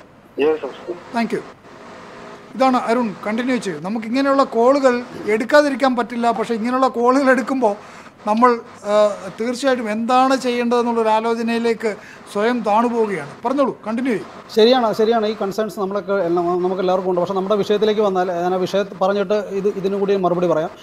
ഇത്തരം ഒരു ഒരു ഭീതി വ്യാപാരം ഇവിടെ ഉണ്ടായിരുന്നു. വളരെ വളരെ സ്ട്രോങ് ആയിട്ടുണ്ടായിരുന്നു ചില പത്രപ്രവർത്തകർ ഞാൻ വീണ്ടും പറയുന്നു ചില പത്രപ്രവർത്തകർ മണിക്കൂറുകളോടും മണിക്കൂറുകൾ വെച്ച് നടത്തുന്ന ഫേസ്ബുക്ക് ലൈവുകൾ പിന്നെ അതുപോലെ തന്നെ ഫേസ്ബുക്കിന്റെ ധാരാളം അങ്ങ് പറഞ്ഞ അങ്ങ് അങ്ങ് ആദ്യമേ തന്നെ പറഞ്ഞു കഴിഞ്ഞു. ധാരാളം ആളുകൾ ഫേസ്ബുക്കിൽ എഴുതി നമ്മുടെ രാഷ്ട്രീയ നേതാക്കളൊക്കെ എഴുതി ഇവിടെ ആളുകൾ മരിക്കാൻ കിടക്കുന്നു ആളുകളെ കൊണ്ടുപോകണം അത് ഇത് ശരിയാണ്. പക്ഷേ ചില ചില പ്രത്യേക സാഹചര്യങ്ങൾ നമ്മൾ മനസ്സിലാക്കണം. പക്ഷേ ഇപ്പോൾ നോക്കൂ ഈ ഒരു കോവിഡ് ടെസ്റ്റിന്റെ കാര്യം വന്നു കഴിഞ്ഞപ്പോഴത്തേക്കും കേരളം ഭരിക്കുന്ന പാർട്ടി അവരായിരുന്നു ആദ്യകാലത്ത് ഇത് ഇതിന്റെ ഇത് തുടങ്ങിയത് എവിടുന്നാണ്? ഇത് തുടങ്ങിയത് മറ്റാരുമല്ല. ഞാൻ രാഷ്ട്രീയം പറയാമെന്ന് വിചാരിക്കരുത്. പക്ഷേ തുടങ്ങിയത് കേരളത്തിന്റെ മുഖ്യമന്ത്രിയാണ്. അദ്ദേഹം തന്നെയാണ് നിയമസഭയിൽ മാർച്ച് പന്ത്രണ്ടാം തീയതി പറഞ്ഞത് പുറത്ത് പിന്നെ അസുഖം വന്നു എന്നുള്ളതിന്റെ കാരണം കൊണ്ട് നമുക്ക് ആളുകളെ കൊണ്ടുവരാതിരിക്കാൻ പറ്റുമോ അവർ നമ്മുടെ പൗരന്മാരാണെന്ന് ശരിയാണ്. അദ്ദേഹം പറയുന്നതെല്ലാം ശരിയാണ്. അല്ലേ പറയട്ടെ. പക്ഷേ ഇത്തരം ഒരു വികാരം ആദ്യമേ തന്നെ ജ്വലിപ്പിച്ച് വിട്ടിട്ട് അതിനുശേഷം ഇപ്പോൾ പറയുന്നത് എന്താണ്? ഇപ്പോൾ അങ്ങനെ എല്ലാവരും കൊണ്ടുവരാൻ പറ്റില്ല. നമ്മൾ ശാസ്ത്രീയമായി കാണണം. അതിന് ഇപ്പം ഇത് തന്നെയാണ് അന്നത്തെ നമ്മുടെ നമ്മളുടെ പ്രധാനമന്ത്രി കൈകൂപ്പി എല്ലാവരോടും പറ- ഇന്ത്യയിലെ മഹാജനങ്ങളോട് പറഞ്ഞത്. ദയവ് ചെയ്ത് നിങ്ങൾ ഉള്ളിടത്ത് കാരണം അത് പിന്നെ ഡബ്ല്യു എച്ച്ഒയുടെ ഗൈഡ് ലൈൻ ആയിരുന്നു. നിങ്ങൾ എവിടെയാണോ ഉള്ളത് അവിടെ തന്നെ തുടരണം. അത് നമ്മുടെ പ്രധാനമന്ത്രി എല്ലാ മനുഷ്യരോടും ഇന്ത്യക്കാരോടും കൈകൂപ്പിക്കൊണ്ട് വളരെ ദയനീയമായി പറഞ്ഞു. നിങ്ങളെ കഷ്ടപ്പാട് സഹിച്ചാണെങ്കിലും നിങ്ങൾ ഇരിക്കുന്നിടത്ത് തുടരണമെന്ന് പറഞ്ഞ ആ ഗ്യാപ്പ് നമ്മുടെ വിഷയത്തിൽ ആ ഗ്യാപ്പ് ഉപയോഗിക്കുന്ന ഭീതി വ്യാപാരത്തിന് ഉപയോഗിച്ചു എന്നുള്ളത് സത്യമാണ് അങ്ങ് പറഞ്ഞ സത്യമാണ്. അതിന്റെ പുറകിൽ രാഷ്ട്രീയ ലക്ഷ്യങ്ങളുണ്ട്. സംശയമൊന്നും വേണ്ട. കാരണം ഓരോ വ്യക്തികൾക്കും അഡ്വക്കേറ്റ് വൈ എ റഹീം. ഞാൻ അതിലേക്ക് വരാം. അഡ്വക്കേറ്റ് വൈ എ റഹീം ഇങ്ങനെ നമ്മൾ നിരന്തരം വാട്സപ്പിൽ വരുന്ന ഓഡിയോ മെസ്സേജസ് ആയാലും ഫേസ്ബുക്ക് പോസ്റ്റുകളായാലും സോഷ്യൽ മീഡിയയിലൂടെ നടക്കുന്ന ക്യാമ്പയിനുകളായാലും ഇതിന്റെയൊക്കെ പിറകിൽ എത്ര സത്യസന്ധരെന്ന് പറഞ്ഞാലും അത് ഇടതുപക്ഷമായിക്കോട്ടെ വലതുപക്ഷമായിക്കോട്ടെ കേന്ദ്രം ഭരിക്കുന്നവരായിക്കോട്ടെ എല്ലാവരുടെയും ഉദ്ദേശം രാഷ്ട്രീയമായിട്ടുള്ള ഗെയിനാണ്. പ്രവാസികളോടുള്ള സ്നേഹത്തിന്റെ എലമെന്റ് അവിടെ വളരെ കുറവാണ്. പ്രവാസി സ്നേഹമെന്നുള്ള എലമെന്റ് ഉപയോഗിച്ചുകൊണ്ട് രാഷ്ട്രീയപരമായിട്ടുള്ള ലാഭമുണ്ടാക്കുവാൻ ഈ പ്രവാസ ഭൂമിയിലെ ഇപ്പോൾ വിളിച്ച പ്രിയപ്പെട്ട സുഹൃത്തിനെ പോലുള്ളവരുടെ വൈകാരികതയെ നാം എന്തിന് മുതലെടുക്കണം ശ്രീ വൈ റഹീം? അങ്ങ് പറഞ്ഞതിന് തിരുത്തി ഞാൻ പറയാ. കാരണം. ഒരു ചെറിയ ശതമാനം ആളുകളാണ് ഈ വാട്സ് ഞാൻ ഈ വാട്സപ്പ് ഒന്നും അത്യാവശ്യം അല്ലെങ്കിൽ നോക്കാറേ ഇല്ല നമുക്ക് അതിന് സമയവും ഇല്ല പക്ഷെ ചിലർക്ക് ഇത് നോക്കിയും ഇതിനകത്ത് പിന്നെ പ്രവർത്തിച്ചില്ലെങ്കിൽ നിങ്ങൾ ഈ പറഞ്ഞ രോഗികൾ ആവാൻ പോകുന്നത് അവരാ. ഇന്ന് അങ്ങ് അയച്ച അങ്ങ് അങ്ങ്. അയച്ച ഒരു ഓഡിയോ മെസ്സേജ് ഇന്ന് എന്റെ ഉണ്ട് അത് ഞാൻ അയച്ചിട്ടില്ല. വേറെ ആരെങ്കിലും അയച്ചിട്ടുണ്ടോ? ഒരു ടി വി വന്ന് ആയിരിക്കും. അത് ഇതിപ്പോ ഇത് കഴിഞ്ഞ ഉടനെ ആരെങ്കിലും ഒക്കെ അയക്കും. എനിക്ക് വല്ലതും പറയാൻ പറ്റും അതാണ് നിങ്ങളുടെ ടി വിയിൽ തന്നെ കിട്ടുന്നത് യൂട്യൂബിൽ. ഞാൻ ആരെ ഏർപ്പാട് ചെയ്തിട്ടില്ല അയക്കാനായിട്ട്. പിന്നെ ഞാൻ നേരത്തെ പറഞ്ഞതുപോലെ ഈ ഒരു ഒരു ചെറിയ ശതമാനം ആളുകൾ ഇത്തരത്തിൽ രാഷ്ട്രീയം ഇതുമായി കൊറോണ വന്നിട്ട് പോലും രാഷ്ട്രീയമായി മുതലെടുപ്പ് പോലും നടത്താൻ കഴിയുമോ എന്ന് തപ്പി നടക്കുകയാണ് അതിൽ രണ്ട് പ്രധാന ആളുകളാരാ? ഒന്ന് നമ്മുടെ അരുണിന്റെ കേന്ദ്രം. രണ്ടാരാ നമ്മുടെ സംസ്ഥാനം ഭരിക്കുന്ന ആളുകൾ ഇപ്പൊ അരുൺ പറഞ്ഞൊരു കാര്യം ശരിയല്ലേ? തർക്കം എവിടുന്ന തുടങ്ങിയത്? ഈ ഗൾഫിലുള്ള ഈ ചർച്ചയും അല്ലെങ്കിൽ അതിലുള്ള അതിപ്രസരവും രാഷ്ട്രീയവും ഒക്കെ കൊണ്ടാണോ ഇങ്ങനെ ചർച്ച നടന്നത് കൊറോണ വന്നപ്പോ കേന്ദ്രവും കേരളവും തമ്മിൽ അടി തുടങ്ങി. കേന്ദ്രം ഒരു തരത്തിലും പിന്നെ നോർക്ക എന്ന് പറയുന്ന കേരളത്തിന്റെ ഒരു സ്ഥാപനത്തിന്റെ രജിസ്ട്രേഷൻ പോലും എടുക്കാത്ത ഒരു വൃത്തികെട്ട നയം അവർ രൂപീകരിച്ചു. എന്തുകൊണ്ടാണ് ഒരു സ്റ്റേറ്റ് ഗവൺമെന്റിന്റെ ഈ ഇന്ത്യയിൽ പിന്നെ ഒരുപാട് സ്റ്റേറ്റ് ഉണ്ട്. പക്ഷേ ഒരു നോർക്ക ഡിപ്പാർട്ട്മെന്റ് അല്ലെങ്കിൽ ഒരു ഒരു മന്ത്രി നേരത്തെ ഒരു മന്ത്രി ഉണ്ടായിരുന്നു എം എം എസ്. ഇപ്പോ അത് മുഖ്യമന്ത്രിയോട് നേരിട്ട് നോക്കുന്നു. അത് ഉപയോഗപ്പെടുത്താൻ കേരളീയരെ അനുവദിക്കാത്ത തരത്തിലുള്ള ഒരു സമീപനം കേന്ദ്രം എടുക്കുന്നു. അവരെ ഒരു ഡേറ്റ കളക്ട് ചെയ്തതിനെ പോലും ഞാനൊക്കെ ഒരുപാട് പേരുമായിട്ട് ബന്ധപ്പെടുന്നതിന് വിളിക്കുന്ന സാറേ നോർക്കയിൽ ഞങ്ങൾ രജിസ്റ്റർ ചെയ്തിട്ടുണ്ട്. എന്നോട് ആദ്യം പറഞ്ഞ കാരണം എന്താ? ഞാൻ നോർക്കയുടെ ഇവിടുത്തെ ഒന്നാമത്തെ ടെലിഫോൺ എന്റെതാണ് കൊടുത്തേക്കുന്നത്. ഞാൻ നോർക്കയുടെ ഭാഗമാണ്. എനിക്ക് എന്താ ആൻസർ പറയാൻ കഴിയും? നോർക്ക രജിസ്ട്രേഷൻ എടുത്തിട്ടില്ല എന്ന് ആ പാവങ്ങളോട് പറഞ്ഞിട്ട് കാര്യമുണ്ടോ? നിങ്ങൾ ഈ പറഞ്ഞോണം മാനസിക സമ്മർദ്ദം കൂടത്തല്ലേ ഉള്ളൂ. അപ്പൊ അങ്ങനെ കേന്ദ്രവും സംസ്ഥാനവും തമ്മിലുള്ള യുദ്ധം കൊറോണയോടൊപ്പം തന്നെ തുടങ്ങി. അതാണോ വേണ്ടത്? ഒരു കേന്ദ്രവും ഒരു സംസ്ഥാനവും ഞാൻ ഇവിടെ. അഡ്വക്കേറ്റ് വൈ റഹീം ഞാൻ സലീമിലേക്ക് എത്താം. അഡ്വക്കേറ്റ് വൈ റഹീം ഞാൻ ഈ ചർച്ച തുടങ്ങിയപ്പോൾ പറഞ്ഞിരുന്നു ഒരു ഫേസ്ബുക്ക് പോസ്റ്റ് എന്നെ ഈ വിഷയം ചർച്ച ചെയ്യാൻ പ്രേരിപ്പിച്ചത് ബഹുമാനപ്പെട്ട മുഖ്യമന്ത്രി സാറിന്റെ ഫോട്ടോയും വെച്ചുകൊണ്ട് ഇവിടെ അദ്ദേഹവുമായി ബന്ധപ്പെട്ട ചിലർ നടത്തിയ ഒരു ഫേസ്ബുക്ക് ക്യാമ്പയിനാണ്. കേരള ഗവൺമെന്റിന്റെ ടെസ്റ്റ് നടത്തണമെന്ന് പറഞ്ഞ ആ ഉത്തരവ് പ്രവാസി മലയാളികളുടെ മരണം കാണാൻ കാൽക്കുന്ന കാക്കുന്ന മുഖ്യമന്ത്രി എന്നുള്ള നിലയിലാണ്. മുഖ്യമന്ത്രി എന്ത് കാത്തോട്ടെ അതെന്റെ വിഷയമല്ല. പക്ഷെങ്കിൽ ഈ ഇവിടെ ഇത്തരം ചർച്ചകൾ നടത്തും? യു എ സംബന്ധിച്ചോളം അങ്ങേക്കറിയാം ഇത്തരം ഈ ടെസ്റ്റ് വേണ്ട എന്നുള്ളത് വളരെ കൃത്യമായിട്ട് ഈ ടെസ്റ്റ് ഇവിടെ നടക്കുന്നുണ്ടെന്ന് നമുക്ക് കൃത്യമായിട്ട് അറിയാം. അങ്ങനെ നട അങ്ങനെ വസ്തുതാപരമായി ധാരണകൾ ഉണ്ടെന്നിരിക്കെ എന്തിന് യു എയിലുള്ള മലയാളികൾ പല സംഘടനാ നേതാക്കന്മാരും ഇത്തരം ക്യാമ്പയിൻ നടത്തണം? അവിടെ രാഷ്ട്രീയപരമായ ലാഭമല്ല എന്നാണ് ഞാൻ ചോദിച്ചത്.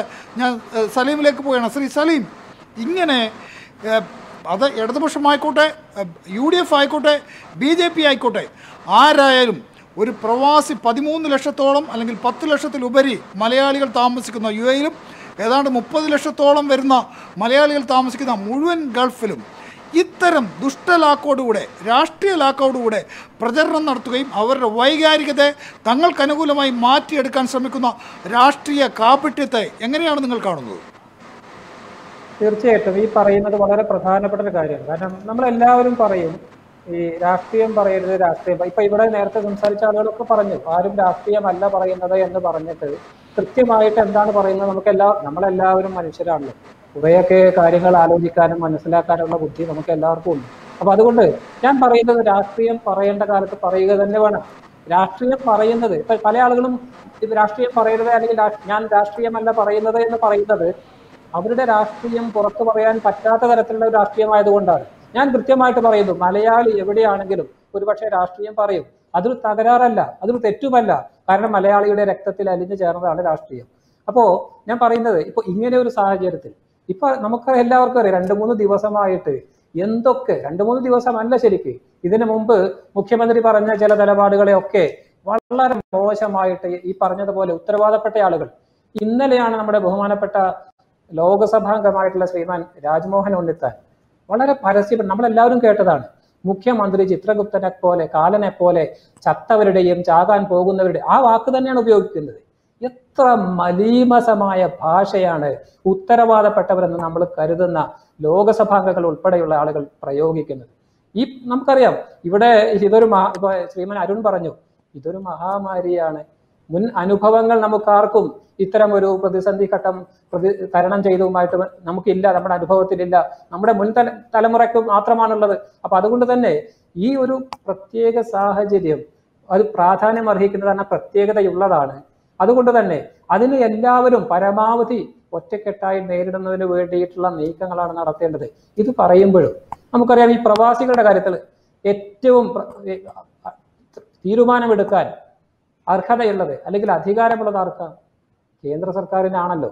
ആ കേന്ദ്ര സർക്കാർ ആ ഉത്തരവാദിത്തം നിറവേറ്റിയിട്ടില്ല എന്ന് പറയുമ്പോൾ അത് രാഷ്ട്രീയമാണെങ്കിൽ അത് പറയണമെന്നാണ് ഞാൻ പറയുന്നത്. കാരണം നമുക്ക് എല്ലാവർക്കും അറിയാം ഇവിടെ നമ്മുടെ ഞാൻ വരാം. നമുക്ക് അടുത്ത റൗണ്ടിൽ സംസാരിക്കാം. പിന്നെ ഒരു കോൾ ഉണ്ട്. ഹലോ നമസ്കാരം. ഹലോ നമസ്കാരം. പേര് പറഞ്ഞു? എന്റെ പേര് അനൂപ്. അനൂപ് പറഞ്ഞോട്ടെ ആ, ഇത് ഇപ്പൊ ഇവിടെ നടക്കുന്നതെന്ന് പറഞ്ഞാൽ ഈ പ്രവാസി സംഘടനകൾ എല്ലാ പ്രവാസി സംഘടനകളും ഈ ര- ആ, അതായത് ഈ ഐ സി എഫ് മറ്റേ എന്തോ ഇൻഫാസ് ആയാലും മറ്റേ ഈ ഐ പി എഫ് ആയാലും കെ എം സി സി ആയാലും അവർ നോക്കുന്നതെന്ന് പറഞ്ഞാൽ നാട്ടിലെ വോട്ട് ബാങ്ക് മാത്രമാണ്. അല്ലാതെ അവർ പ്രവാസികളെ അങ്ങ് ബോധപൂർവം ഏതെങ്കിലും സംഘടനയുടെ പേര് വിട്ടുപോയിട്ടുണ്ടോ? അങ്ങ് എല്ലാ പറഞ്ഞു പ്രവാസി വിളിപ്പിക്കുന്നില്ല സാറേ സംഘടനകളെയും കഴിഞ്ഞ തവണ ഇതായിരുന്നല്ലോ പരിപാടി ഓക്കെ ഓക്കെ. പറഞ്ഞോട്ടെ എല്ലാ പ്രവാസി സംഘടനകളെയാണ് ഞാൻ പറയുന്നത്. അവർ വോട്ട് ബാങ്ക് പറയട്ടെ അദ്ദേഹം സംസാരിക്കട്ടെ അദ്ദേഹം സംസാരിക്കട്ടെ അതെ ഞാനൊരു സി പി എമ്മുകാരൻ തന്നെയാണ്. ഞാനൊരു സി പി എമ്മുകാരൻ തന്നെയാണ്. അത് കുറ്റമൊന്നും അല്ലല്ലോ പറഞ്ഞോളൂ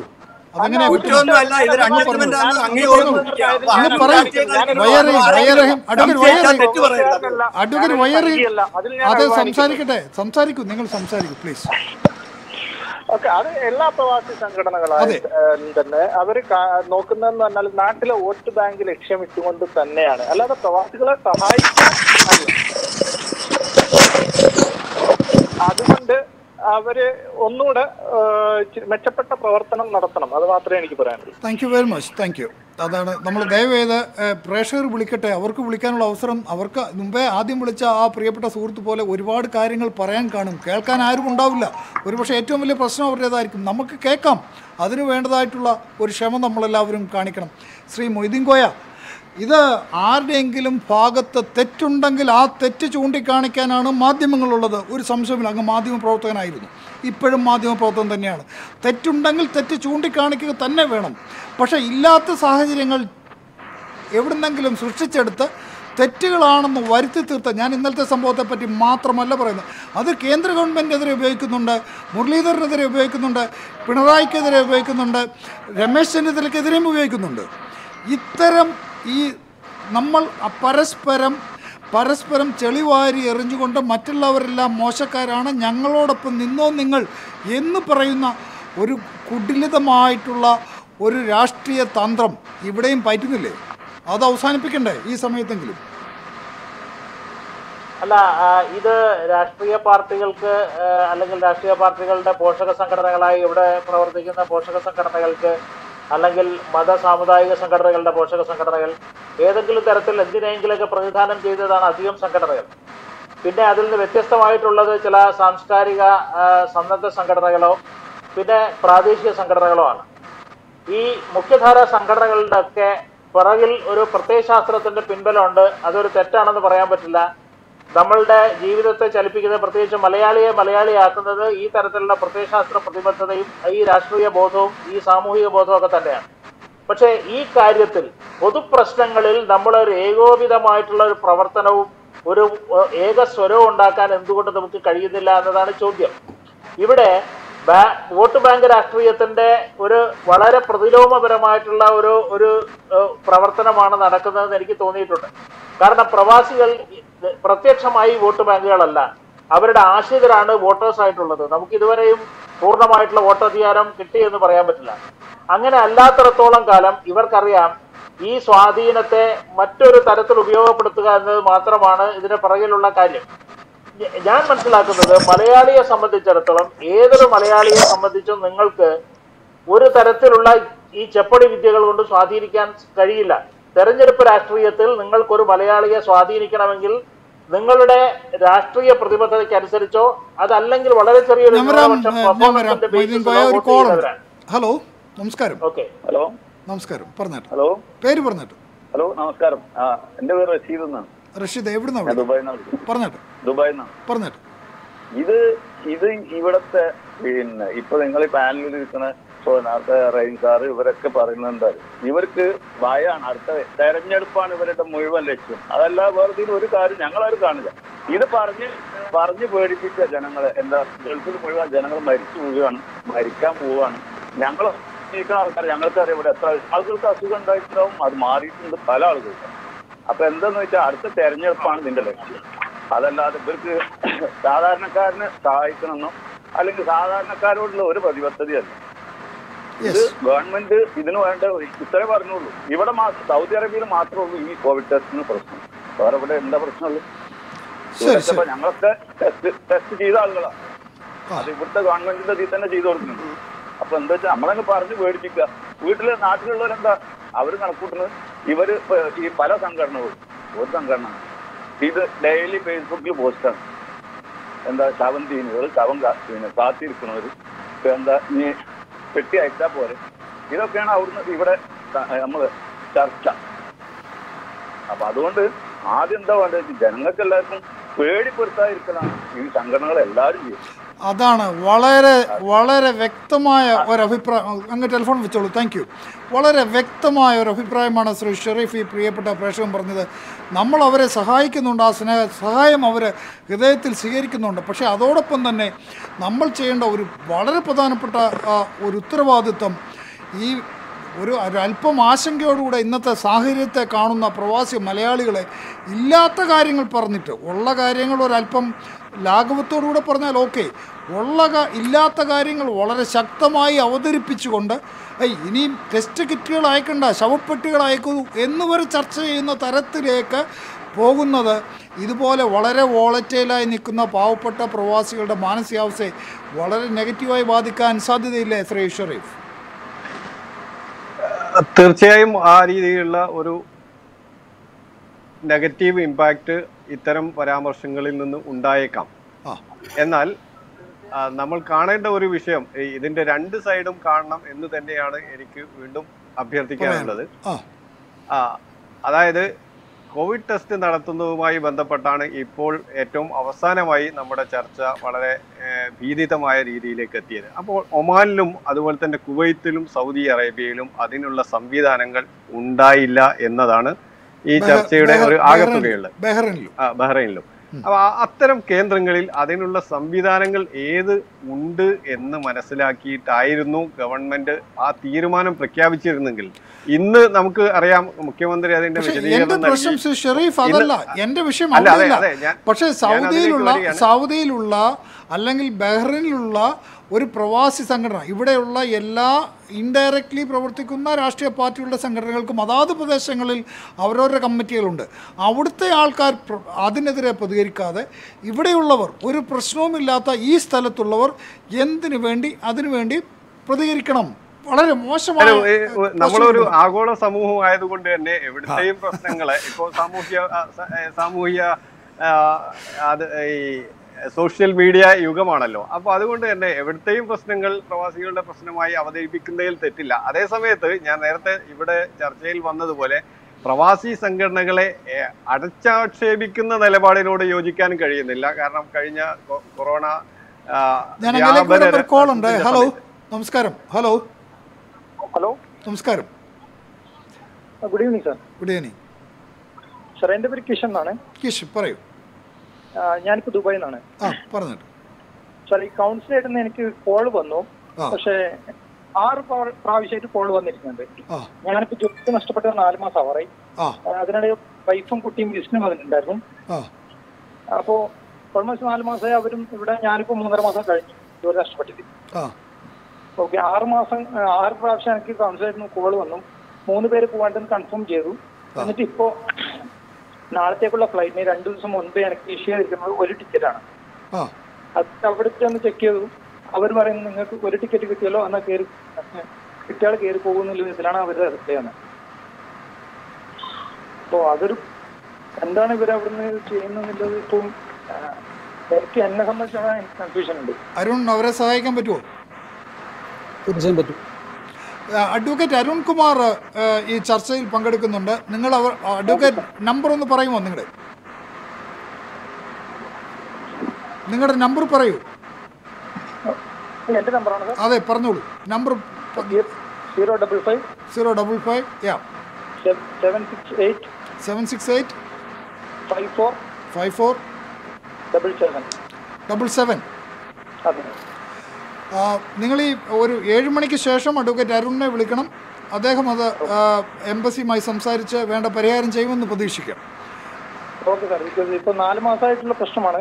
അപ്പൊ കോൾ വന്നിട്ട് പിന്നെയും ഈ അതെ അതെ. issue നിങ്ങളത് അദ്ദേഹത്തോട് സംസാരിക്കും. അദ്ദേഹത്തോട് സംസാരിക്കും. അദ്ദേഹം പരിഹാരം കാണാൻ ശ്രമിക്കും. എന്ത് പേരൊന്നോട് പറഞ്ഞോളൂ. Kishan.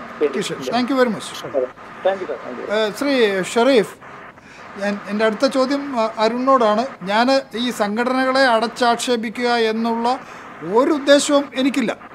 ഈ ചർച്ചയ്ക്കുമില്ല.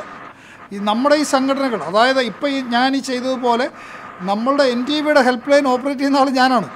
ഈ ഹെൽപ്പ് ലൈനിൽ വരുന്ന കോളുകൾ മുഴുവൻ ഈ യു എയിലെ മുഴുവൻ സംഘടനകൾക്കും കൊടുത്ത് അവരെ കൊണ്ടാണ് ഈ കാര്യങ്ങൾ പലതും വയ്യ റഹീമായാലും അബുദാബിയിലുള്ളവരായാലും ഒക്കെ തന്നെ ഈ കാര്യങ്ങൾ എൻ ഡി വിക്ക് വേണ്ടി ചെയ്തുകൊണ്ടിരിക്കുന്നവരാണ് അവരാ ചെയ്ത പ്രവർത്തനങ്ങളെ ഹൃദയത്തിന്റെ ഭാഷയിൽ മാനിക്കുമ്പോൾ തന്നെ നമ്മൾ ആരെങ്കിലുമൊക്കെ തെറ്റിദ്ധരിപ്പിക്കുവാൻ രാഷ്ട്രീയ മുതലെടുപ്പിന് വേണ്ടി ചെറിയ തോതിലുള്ള അംഗങ്ങളെങ്കിലും ശ്രമിക്കുന്നുണ്ടെങ്കിൽ അത് അവസാനിപ്പിക്കേണ്ടതല്ലേ എന്നുള്ളതാണ് ഈ ചർച്ചയുടെ ഉദ്ദേശം. അരുൺ അങ്ങേക്കറിയാം ഇവിടെ ഏകദേശം ഇന്നലത്തെ കണക്കനുസരിച്ച് ഇരുന്നൂറ്റി മുപ്പത്തിയേഴ് പേർക്ക് ജീവൻ ഈ രോഗം മൂലം നഷ്ടപ്പെട്ടു.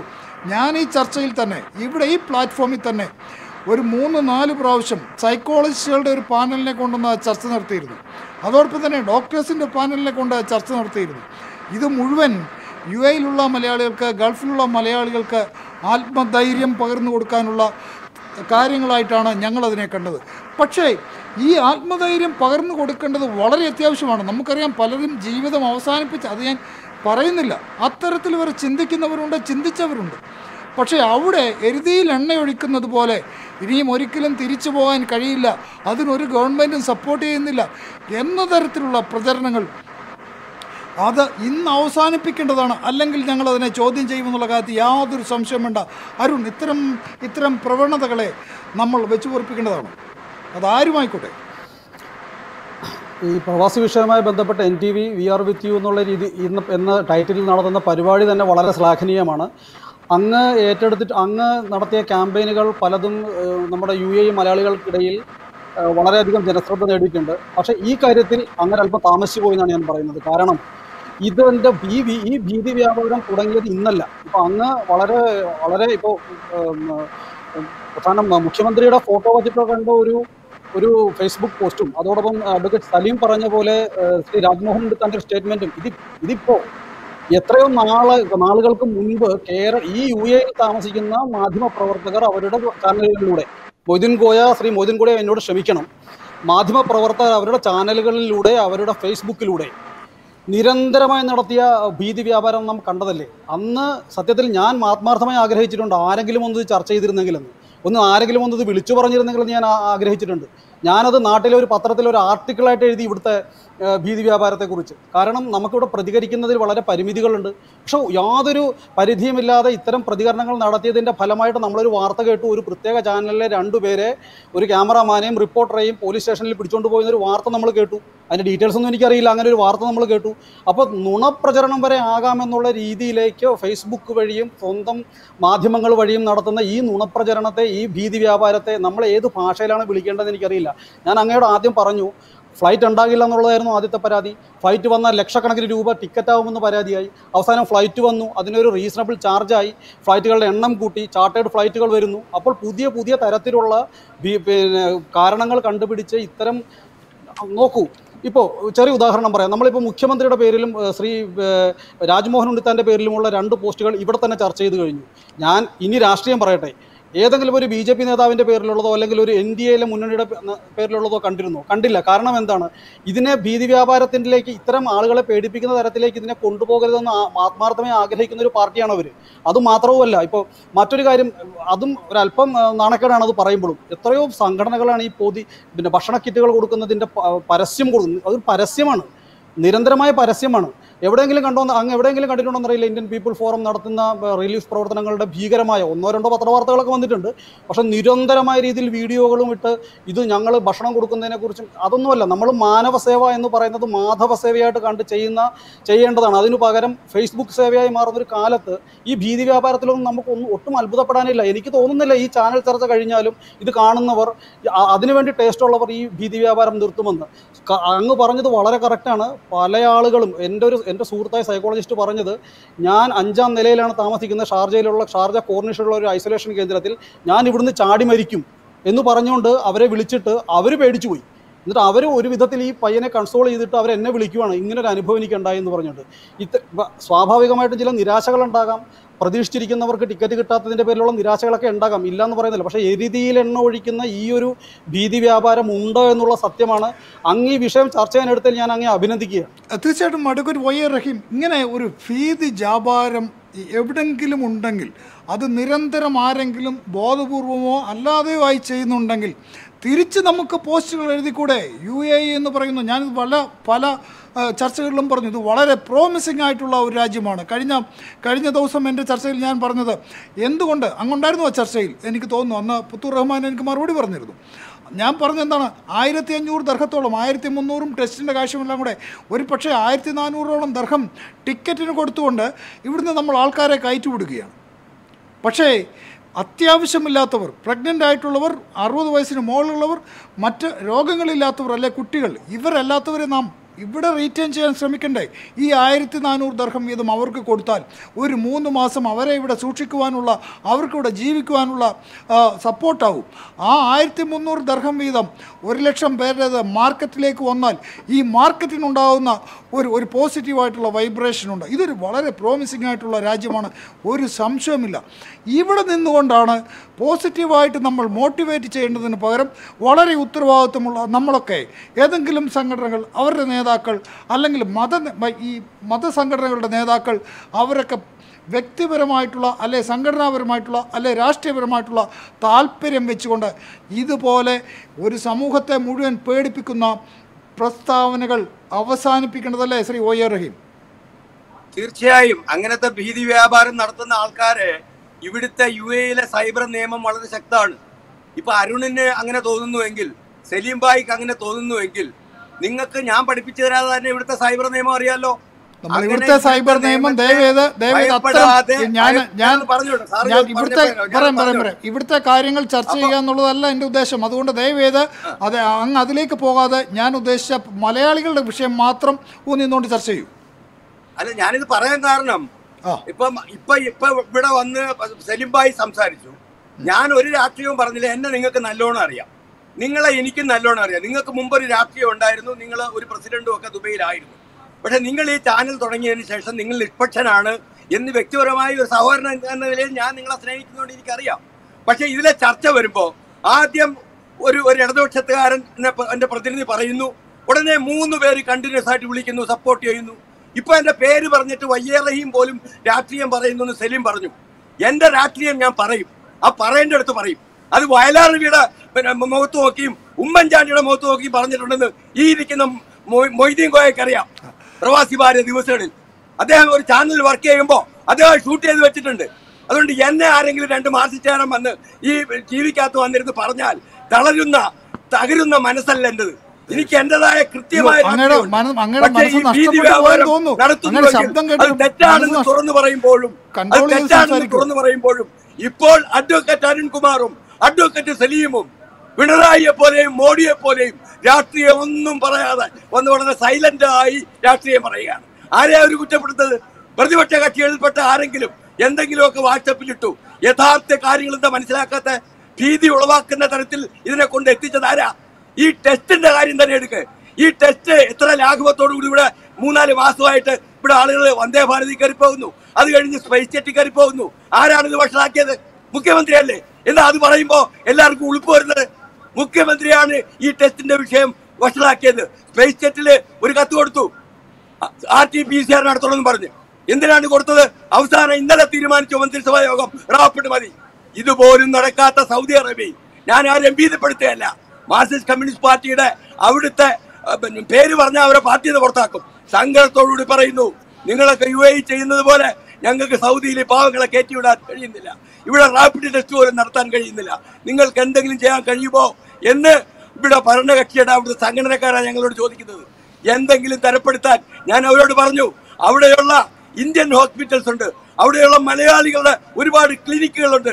അവിടെ നിങ്ങൾക്ക് ഒരു ഒരു ഒരു ട്രൂനാറ്റ് ടെസ്റ്റിനുള്ള സൗകര്യം നടത്താൻ നിങ്ങൾ തയ്യാറായാൽ യു എയിലുള്ള യൂത്ത് വലിയ അടക്കമുള്ള അവരെ കൊണ്ട് ട്രൂനാറ്റിന്റെ കിറ്റ് ഫ്രീ ആയിട്ട് ഞാൻ വാങ്ങിച്ചു തരാമെന്ന് പറഞ്ഞു. എന്താണ് ഈ സാഹചര്യത്തിന്റെ സീരിയസ്നെസ് സാറ് പോലും മനസ്സിലാക്കാത്തത്. ഇവിടെ ജോലിയില്ല കൂലിയില്ല ആഹാരമില്ല കിടക്കുന്നിട്ട് ഇറക്കി വിടുന്നു. ആരെങ്കിലും അതേക്കുറിച്ച് പറയുമ്പോൾ ചിലർ ആരെങ്കിലും ഒരാൾ ഭീതി വ്യാപാരം നടത്തിയാൽ ഇതൊന്നും യാഥാർത്ഥ്യമല്ല. എന്ന് നിങ്ങൾക്ക് തെളിയിക്കാൻ കഴിയോ അരുൺകുമാറിനും സലീമിക്കയ്ക്കും നിങ്ങൾ വന്ന് നിങ്ങളുടെ രാഷ്ട്രീയോ പറയുന്നത് ഞാൻ പറയുന്നത് ഇവിടുത്തെ പാവപ്പെട്ടവരെ കയറ്റിവിടുന്നു അതുപോലെ സൗദിയിൽ കഷ്ടപ്പെടുന്ന ലക്ഷക്കണക്കിനായ മലയാളികളെ കയറ്റിവിടാൻ നോർക്ക എന്ന് പറയുന്ന സ്ഥാപനത്തിന് കഴിയണം. അതിന് കേന്ദ്രത്തെ ഇരുന്ന് കുറ്റം പറയലല്ല മുഖ്യമന്ത്രിയുടെയും കേരള മന്ത്രിസഭയുടെയും ജോലി. അത് അതുകൊണ്ട് നോർക്കയെ ശക്തിപ്പെടുത്തി സൗദിയിൽ ഈ ഇന്ത്യൻ സംവിധാനങ്ങൾ ഒരുക്കിക്കൊണ്ട് അവർക്ക് ന്യൂഡാറ്റ് ന്യൂഡാറ്റ് ടെസ്റ്റ് നടത്തി. ആ പാവങ്ങളെ കയറ്റി വിടാൻ നോക്ക്. രാഷ്ട്രീയം പറയും. ആ പറയുന്നവർക്ക് അത് ജോലിയാ. രാഷ്ട്രീയം പറയുന്നവർ അത് പറഞ്ഞു നടക്കട്ടെ.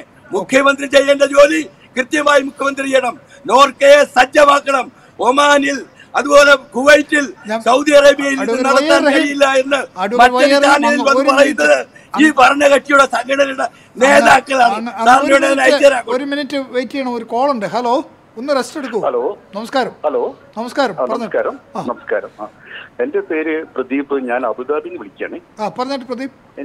എനിക്ക് വയ്യ റഹീം സാർ പറഞ്ഞ കാര്യത്തിനോട് വളരെ മോശമായ അഭിപ്രായമാണുള്ളത്. കാരണം നമ്മുടെ മുഖ്യമന്ത്രി ചെയ്തതുപോലുള്ള കാര്യങ്ങളൊന്നും ഒരു കാലഘട്ടത്തിലും നമ്മൾ കണ്ടിട്ടില്ല.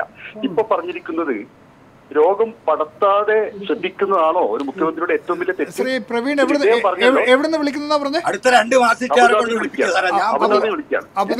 അതുപോലെ തന്നെ ഒരു മിനിറ്റ്. എന്നെ പറയാനെങ്കിലും അനുവദിക്കൂ. അതെങ്കിലും അനുവദിക്കൂ. അഞ്ചാറ് മാസക്കാരൻ ഒരുമിച്ച് വിളിച്ചാൽ മുഖ്യമന്ത്രി ചെയ്യുന്ന വൃത്തികേട്. അത് വൃത്തികേടല്ലാതെ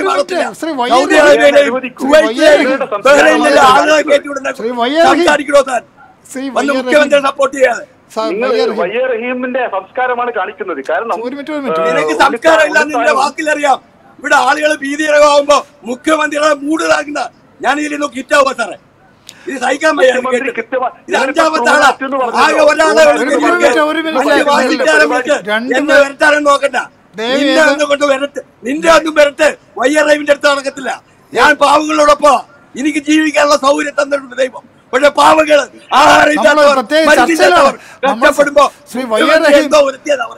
മുഖ്യമന്ത്രി പ്രവാസികൾക്ക് വേണ്ടി ഒരു ചുക്കും ചുണ്ടാമ്പും ചെയ്തിട്ടില്ല. പറയുക. അവിടുന്ന് ഇവിടുന്ന് അഞ്ചാറ് മാസിച്ചാരം വിളിച്ച ഞാനങ്ങ് പേടിച്ചു വന്നു വിചാരിക്കുന്നു ശ്രീ എനിക്ക് സംസ്കാരം ഉണ്ടോ? മുഖ്യമന്ത്രിയുടെ മൂട് താങ്ങുന്ന ശ്രീ എനിക്ക് എനിക്ക് ഒരു കാര്യം കൂടെ പ്രിയപ്പെട്ട ഐ പി എഫിന്റെ പ്രതിനിധി പറഞ്ഞ ഒരു കാര്യം ഞാൻ പറയാം. അദ്ദേഹത്തിന്റെ പിന്നെ ഞങ്ങളുടെ കേന്ദ്ര സഹമന്ത്രി മുരളീധരൻ അദ്ദേഹത്തിന്റെ നാട്ടുകാരൻ കൂടിയാണ്. എല്ലാ ദിവസവും ഇരുന്നിട്ട് അദ്ദേഹം മുഖ്യമന്ത്രി പറയുന്ന പ്രസ്താവനയ്ക്ക് എതിര് വിളിക്കലല്ലാതെ വേറെ കാര്യമായിട്ടൊന്നും ചെയ്തിട്ടില്ല. ഇന്ന് ഇന്ന് എയർ ഇന്ത്യ എയർ ഇന്ത്യയുടെ എഴുന്നൂറ്റമ്പത് ദിവസം കൊടുത്തുകൊണ്ട് എയർ ഇന്ത്യയെ രക്ഷിക്കാനുള്ള പരിപാടിക്ക് ഭാരത് സേവ എന്നോ മനുഷ്യ സേവ എന്നൊക്കെ പേര് വിട്ടിട്ട് ഒരു ഒരു രീതി നടപ്പിലാക്കിയത് മാത്രമാണ് ഇവർ ചെയ്തിരിക്കുന്നത്. പ്രവീൺ ഞാൻ ഒരു ചോദ്യം അങ്ങോട്ട് ചോദിക്കട്ടെ? പ്രവീൺ. ഇതിന് ഇതിനു മുമ്പേ എൻ ടി വിയിൽ വിളിച്ചിട്ടുണ്ടോ? പ്രവീൺ അല്ല പ്രദീപാണ് എന്റെ പേര്. പ്രദീപ് എൻ ടി വിയിൽ ഇതിനു മുമ്പേ വിളിച്ചിട്ടുണ്ടോ? ഞാൻ പണ്ട് വിളിച്ചിട്ടുണ്ടായിരുന്നു ഇപ്പോൾ എനിക്ക് കിട്ടാറില്ല. പ്രദീപിന് പല സമയത്ത് പ്രദീപിന് എൻ ടി വിയിൽ ആരെങ്കിലും വ്യക്തിപരമായിട്ട് അറിയാമോ? ഈ ടി വിയിൽ കണ്ടിട്ടുള്ളതല്ലാതെ? എനിക്കറിയില്ല ഞാൻ ഇതുവരെ ഞാൻ നിങ്ങളെ പരിചയപ്പെട്ടിട്ടുണ്ട്. ഓക്കെ. എന്തായാലും ഇതാണ് പല ആരോപണങ്ങൾക്കുള്ള മറുപടി. ഞങ്ങൾക്ക് വിളിക്കുന്നവരെ ഒന്നും അറിയില്ല. ഞങ്ങൾ ആരെയും സ്വാധീനിക്കാറില്ല വിളിക്കുന്നതല്ല സാറേ. സാറേ ഇവർ വിളിപ്പിക്കുന്നതാ. ഇവർക്ക് ഒരു ഗ്യാങ് ഉണ്ട് ഇവിടെ സൈബർ വിളി. ടി വി വിളി. ആ സംഘം ഇങ്ങനെ ഞങ്ങളൊക്കെ-. ബഹുമാനിക്കുന്ന ആളാണ് ഇത് അങ്ങ്. നിങ്ങളല്ല. എൻ ഡി അല്ല എന്ത് ഇന്ന്. ചെയ്യാനാണ്? എൻ ഡി വി അല്ല. ഞങ്ങൾക്കാരോട് ഇവിടുത്തെ പാർട്ടിയുടെ കോട്ട മുഖ്യമന്ത്രിയെ താങ്ങാൻ വേണ്ടിയിലേക്ക് പോവുകയാണ്. ഞങ്ങളുടെ ആളുകളാരും വിളിച്ചാൽ ഫോൺ കിട്ടില്ല സാറേ. ആറ് മണിക്കൂർ വിളിച്ച്. വിളിച്ച്. അങ്ങനെ ചെയ്യില്ല. പക്ഷെ എവര് മുഖ്യമന്ത്രി ഇപ്പൊ നാണം കെട്ടി നിൽക്കുക ഗൾഫുകാരന്റെ വേണ്ടി ഒന്നും ചെയ്യില്ല. അങ്ങേക്ക് താങ്ങാതിരിക്കുകയാണ്. താങ്ങാനുള്ള ഞാൻ അടുത്ത ആളിലേക്ക് പോട്ടെ അടുത്ത ആളിലേക്ക് പോട്ടെ വയ്യ റഹീം. അടുത്ത ആൾ തന്നെ പറയാൻ പോകുന്നത് എന്തോ ഓക്കെ അഡ്വക്കേറ്റ് അഡ്വക്കേറ്റ് സലീം ഞാൻ എനിക്ക് ഇന്നലെയൊക്കെ അറിയുന്ന ഒരു വയ്യറഹീം അല്ല ഇത്. ഇന്ന് അദ്ദേഹത്തിന് എന്താ സംഭവിച്ചത് നാൽപ്പത് വർഷമായിട്ട് അറിയാം സാറിന് ഇരുപത്തഞ്ച് കൊല്ലമായിട്ട് അറിയാം എന്നെ പ്രകോപനാക്കിയതാ കാരണം ഒരേ പാർട്ടിയുടെ ആൾക്കാർ അഞ്ചു പേര് വിളിച്ചാൽ. ഇത് ഇതൊരു പൊതുജനങ്ങൾക്ക് വേണ്ടിയിട്ടുള്ള ഒരു ചർച്ച ചർച്ചയിലാണ് രാഷ്ട്രീയമില്ല സാറേ ഈ കാര്യത്തിൽ. എനിക്ക് നയവും ദയവായി എനിക്ക് ചർച്ച മുമ്പോട്ട് കൊണ്ടുപോകണം അഡ്വക്കേറ്റ് അഡ്വക്കേറ്റ് എനിക്ക് ചർച്ച മുമ്പോട്ട് കൊണ്ടുപോകണം എനിക്ക് ഈ ചർച്ച മുമ്പോട്ട് കൊണ്ടുപോകണം? എല്ലാ പാനലിസ്റ്റുകളും എനിക്ക് ഒരുപോലെ എന്നെ അടുത്ത തവണ വിളിക്കണ്ട. സാർ എന്നെ വിളിച്ചില്ലെങ്കിലും അങ്ങയോടുള്ള സ്നേഹത്തിന് ഒരു കുറവില്ല ഞാൻ എന്നെ തല്ലിക്കൊന്നാലും അത് വയലാറിയുടെ മുഖത്തൊക്കെ പറഞ്ഞിട്ടുണ്ട് കോയക്കറിയാം ഹലോ നമസ്കാരം. ഹലോ നമസ്കാരം. ഹലോ നമസ്കാരം. ഹലോ. പറയൂ. Good evening sir. Good evening എന്റെ പേര് അനു എന്നാണ്. ഞാൻ അജ്മാനി എന്നാണ് വിളിക്കുന്നത്. പറഞ്ഞോട്ടെ ഞങ്ങൾ കൗൺസിലറിലേക്ക് രജിസ്റ്റർ ചെയ്തിട്ട് വരുന്നു നാട്ടിലേക്ക് പോവാനായിട്ട്. ഹസ്ബൻഡ് മാത്രമേ വർക്ക് ചെയ്യുന്നുള്ളൂ. ഹസ്ബൻഡാണ് ഇപ്പൊ മൂന്നാൽ മാസമായിട്ട് ജോലിയില്ല. അപ്പം മൂന്ന് ദിവസം മുമ്പ് ഞങ്ങളെ കൗൺസിലേറ്റിൽ നിന്ന് വിളിച്ചു. മോന്റെ പേരിൽ രജിസ്റ്റർ ആയിട്ടുണ്ട്. ആരൊക്കെയാ കൂടെ പോകുന്നത്? എല്ലാം ചോദിച്ച് അവർ വിളിച്ചിരുന്നു. അവർ പറയുന്ന പത്തൊമ്പതാം തീയതി ഫ്ലൈറ്റ് ഉണ്ട്. പത്തൊമ്പതിന് പോകാൻ റെഡി ആയിക്കോന്നാ പറഞ്ഞത് ആ അതിനുശേഷം ഞങ്ങൾ ഇന്നലെ തിരിച്ച് കൗൺസിലറിലേക്ക് വിളിച്ചു. പിന്നെ വേറെ ഒരു ഇൻഫർമേഷനും ഞങ്ങൾക്ക് അവിടുന്ന് കിട്ടിയില്ല. അപ്പൊ ഞങ്ങൾ ഇന്നലെ തിരിച്ചു വിളിച്ചപ്പോൾ അവർ പറഞ്ഞു നിങ്ങൾ ഇങ്ങനെ വിളിച്ചോണ്ടിരിക്കണ്ട. പത്തൊമ്പതിന് മുമ്പ് നിങ്ങളെ വിളിക്കും എന്നാ പറഞ്ഞത്. ഇതുവരെ ആയിട്ടും വിളിച്ചിട്ടില്ല. അപ്പോൾ ഹസ്ബൻഡ് കഴിഞ്ഞ ദിവസം എയർ ഇന്ത്യയുടെ ഓഫീസിലും പോയേക്കാം. അപ്പൊ അവർക്കും ഞങ്ങളുടെ പേരിൽ ഒരു ലിസ്റ്റ് ഒന്നും ഇതുവരെ കിട്ടിയിട്ടില്ല. അങ്ങനെയൊന്നും അറിയത്തില്ല എന്നാ പറഞ്ഞത്. ശരി. അവർ പറയുന്നതനുസരിച്ച് നാളെ ഫ്ലൈറ്റ് ഉണ്ട്. മോന്റെ പേരിലാണ് രജിസ്റ്റർ ആയിരിക്കുന്നത് എന്നാണ് പറഞ്ഞത്.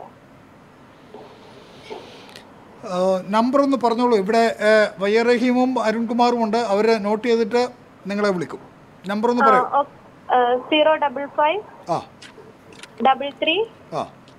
വൺ സിക്സ് ആ. Five two one. Five two one. ആ. ഒന്നുകൂടെ പറഞ്ഞോളൂ പ്ലീസ്. സീറോ ഡബിൾ ഫൈവ് ആ. ഡബിൾ ത്രീ ആ. വൺ സിക്സ് ആ. Five two one. ശരി. Thank you. അഡ്വക്കേറ്റ് സലീം ഈ കേരള ഗവൺമെന്റ് ഇതിന് മാത്രം ഒരു കൺഫ്യൂഷൻ ഉണ്ടാക്കിയത് എന്താണ്? എന്താണ് ഇവിടുത്തെ സാഹചര്യങ്ങളൊക്കെ അറിയാതെ ഒരു തീരുമാനം എടുക്കാൻ എടുത്തത്? എനിക്ക് വളരെ കുറച്ച് സമയമുള്ളൂ അങ്ങ് ക്ഷമിക്കണം. രണ്ട് മിനിറ്റിൽ അങ്ങ് പറഞ്ഞ് അവസാനിപ്പിക്കണം.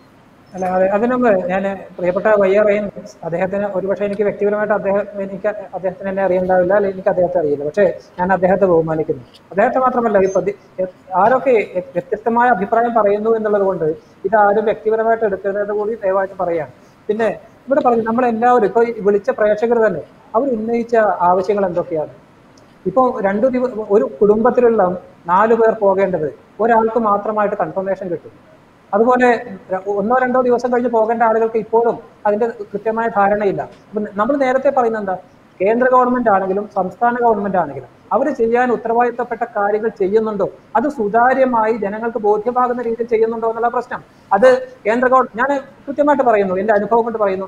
കേന്ദ്ര ഗവൺമെന്റിന്റെ ഭാഗത്ത് നിന്ന് ഈ പ്രവാസികൾക്ക് വേണ്ടി കൃത്യമായിട്ടുള്ള ഇടപെടൽ ഏറ്റവും ആദ്യം ചെയ്യേണ്ട കേന്ദ്ര ഗവൺമെന്റ് അത് ചെയ്തിട്ടില്ല എന്നുള്ള അഭിപ്രായക്കാരാണ് ഞാൻ അത് വെറുതെ പറയുന്നതല്ല. ഇവിടെ തന്നെ നമ്മുടെ അനുഭവമാണ്. ഇപ്പൊ ഈ എംബസിയിൽ നിന്ന് പോകുന്ന വന്ദേ ഭാരത് മിഷന്റെ ഇതിന്റെ കാര്യം നമുക്ക് പറയാം കുവൈറ്റ് യുദ്ധകാലത്ത് ഒരു ലക്ഷത്തി തൊണ്ണൂറായിരത്തോളം വരുന്ന ആളുകളെ ഒരു ചില്ലിക്കാശ് വാങ്ങാതെ നാട്ടിലെത്തിച്ച അനുഭവം നമ്മുടെ കേന്ദ്ര ഗവൺമെന്റിനുണ്ട് എന്ന് കൂടി നമ്മൾ മറക്കണം. മറക്കരുത്. അത് മാത്രമല്ല ഇപ്പോ ശ്രീ അരുൺകുമാർ പറഞ്ഞു ഭീതി വ്യാപാരത്തെ കുറിച്ചൊക്കെ. Advocate Saleem advocate Saleem advocate Saleem ഒരു പാൻഡമിക് സിറ്റുവേഷൻ ഒരു യുദ്ധവുമായിട്ട് ബന്ധപ്പെട്ട തീർച്ചയായിട്ടും വ്യത്യാസമുണ്ടല്ലോ തീർച്ചയായിട്ടും ഞാനത് മനസ്സിലാക്കുന്നു. പക്ഷേ ഒരു പക്ഷേ ഒരു രാജ്യം നമ്മുടെ ഈ പ്രവാസ ലോകത്തുള്ള നമ്മളെല്ലാവരും എല്ലാ രാജ്യങ്ങളും ഇതിനെ എങ്ങനെയാണ് നേരിടുന്നത് എന്ന് നമ്മൾ എല്ലാവരും നോക്കി കാണുന്ന ആളുകളാണ് പക്ഷെ ഇങ്ങനെ സ്വന്തം ജനതയോട് പ്രതികാര ബുദ്ധിയോടുകൂടി പെരുമാറുന്ന നമ്മുടെ കേന്ദ്ര സർക്കാരിനെ പോലെ മറ്റൊരു സർക്കാർ ലോകത്ത് എവിടെയെങ്കിലും ഉണ്ടോ? യുദ്ധവിമാ യുദ്ധ കപ്പലിൽ പോയ ആളുകളിൽ നിന്ന് പോലും യാത്രാക്കൂലി വാങ്ങുന്ന വളരെ ഇത്ര ഒരു അനുഭവം വേറെ ഏതെങ്കിലും രാജ്യത്തുണ്ടോ? ഇപ്പൊ പതിനൊന്ന് ദിവസം തുടർച്ചയായിട്ട് നമ്മുടെ നാട്ടിൽ പെട്രോൾ ഡീസൽ വില വർദ്ധിപ്പിച്ചുകൊണ്ടിരിക്കുക. ഈ കൊറോണ കാലത്ത് ആളുകൾ നാല് മാസമായിട്ട് പട്ടിണിയായിരിക്കുന്ന ഒരു സമയത്താണ് ഈ മാതിരിയുള്ള ജനവിരുദ്ധ നയങ്ങൾ നടപ്പിലാക്കുന്നത്. ഇനി ഞാൻ കാര്യത്തിലേക്ക് വരാം. ഇത് ഇവിടെ നമ്മളെല്ലാവരും ദിവസേന ഇതുപോലെയുള്ള അനുഭവങ്ങൾ വിളികൾ അല്ലെങ്കിൽ ആളുകളുടെ പ്രയാസങ്ങളൊക്കെ കേട്ടുകൊണ്ടിരിക്കുകയാണ്. ഇപ്പൊ ഈ ഈ ടെസ്റ്റിന്റെ ഭാഗമായിട്ട് ഞാൻ പറയാം. എന്താണ് എന്താണ് സത്യത്തിൽ? ഈ ടെസ്റ്റ് രോഗമുള്ളവരും ഇല്ലാത്തവരും ഒരുമിച്ച് യാത്ര ചെയ്യരുത് എന്നുള്ളത് ലോകമാകെ ചർച്ച ചെയ്ത് കഴിഞ്ഞാണ്. അതൊക്കെ നമ്മൾ ചർച്ച അത് മാത്രമല്ല അത് മാത്രമല്ല അതെ ഇപ്പൊ ഇദ്ദേഹം പറഞ്ഞല്ലോ എന്തുകൊണ്ട് ഇത് വന്ദേ ഭാരത് മിഷന് ബാധകമല്ല? സംസ്ഥാന സർക്കാർ കഴിഞ്ഞ മെയ് മാസം അഞ്ചാം തീയതി പ്രധാനമന്ത്രിയുമായിട്ടുള്ള രേഖാമൂലം കൊടുത്ത കത്തിൽ രേഖാമൂലം ആവശ്യപ്പെട്ടിട്ടുണ്ട്. വിദേശത്ത് നിന്ന് വരുന്ന എല്ലാവർക്കും ടെസ്റ്റ് ഈ ടെസ്റ്റിന്റെ കാര്യത്തിൽ യു എയിൽ താമസിക്കുന്ന ഒരാൾക്കും ഒരു പ്രശ്നവും ഇല്ല എന്നുള്ളത് വളരെ കൃത്യമാണ്. അതെ ഖത്തറിലും ഇല്ല എന്നുള്ളത് കൃത്യമാണ്. പിന്നെ ബാക്കിയുള്ള സ്ഥലങ്ങളിലെയൊക്കെ ടെസ്റ്റ് കിറ്റുകൾ എത്തിക്കുമെന്ന് ഗവൺമെന്റ് പറഞ്ഞിട്ടുണ്ട് അത് പ്രതിഷേധം. ഉയർന്നതിന് ശേഷമായിരിക്കാം. എങ്കിൽ പോലും ഇന്ന് തീരുമാനമെടുത്തിരിക്കുന്നു. മറ്റൊരു വശം കൂടി ഉണ്ട് ഈ മറ്റു രാജ്യം പ്രത്യേകിച്ച് സൗദി അറേബ്യയിലുള്ള സുഹൃത്ത് ഞാൻ നമ്മുടെ ഒരുപാട് സുഹൃത്തുക്കൾ അവിടെ ഉണ്ട്.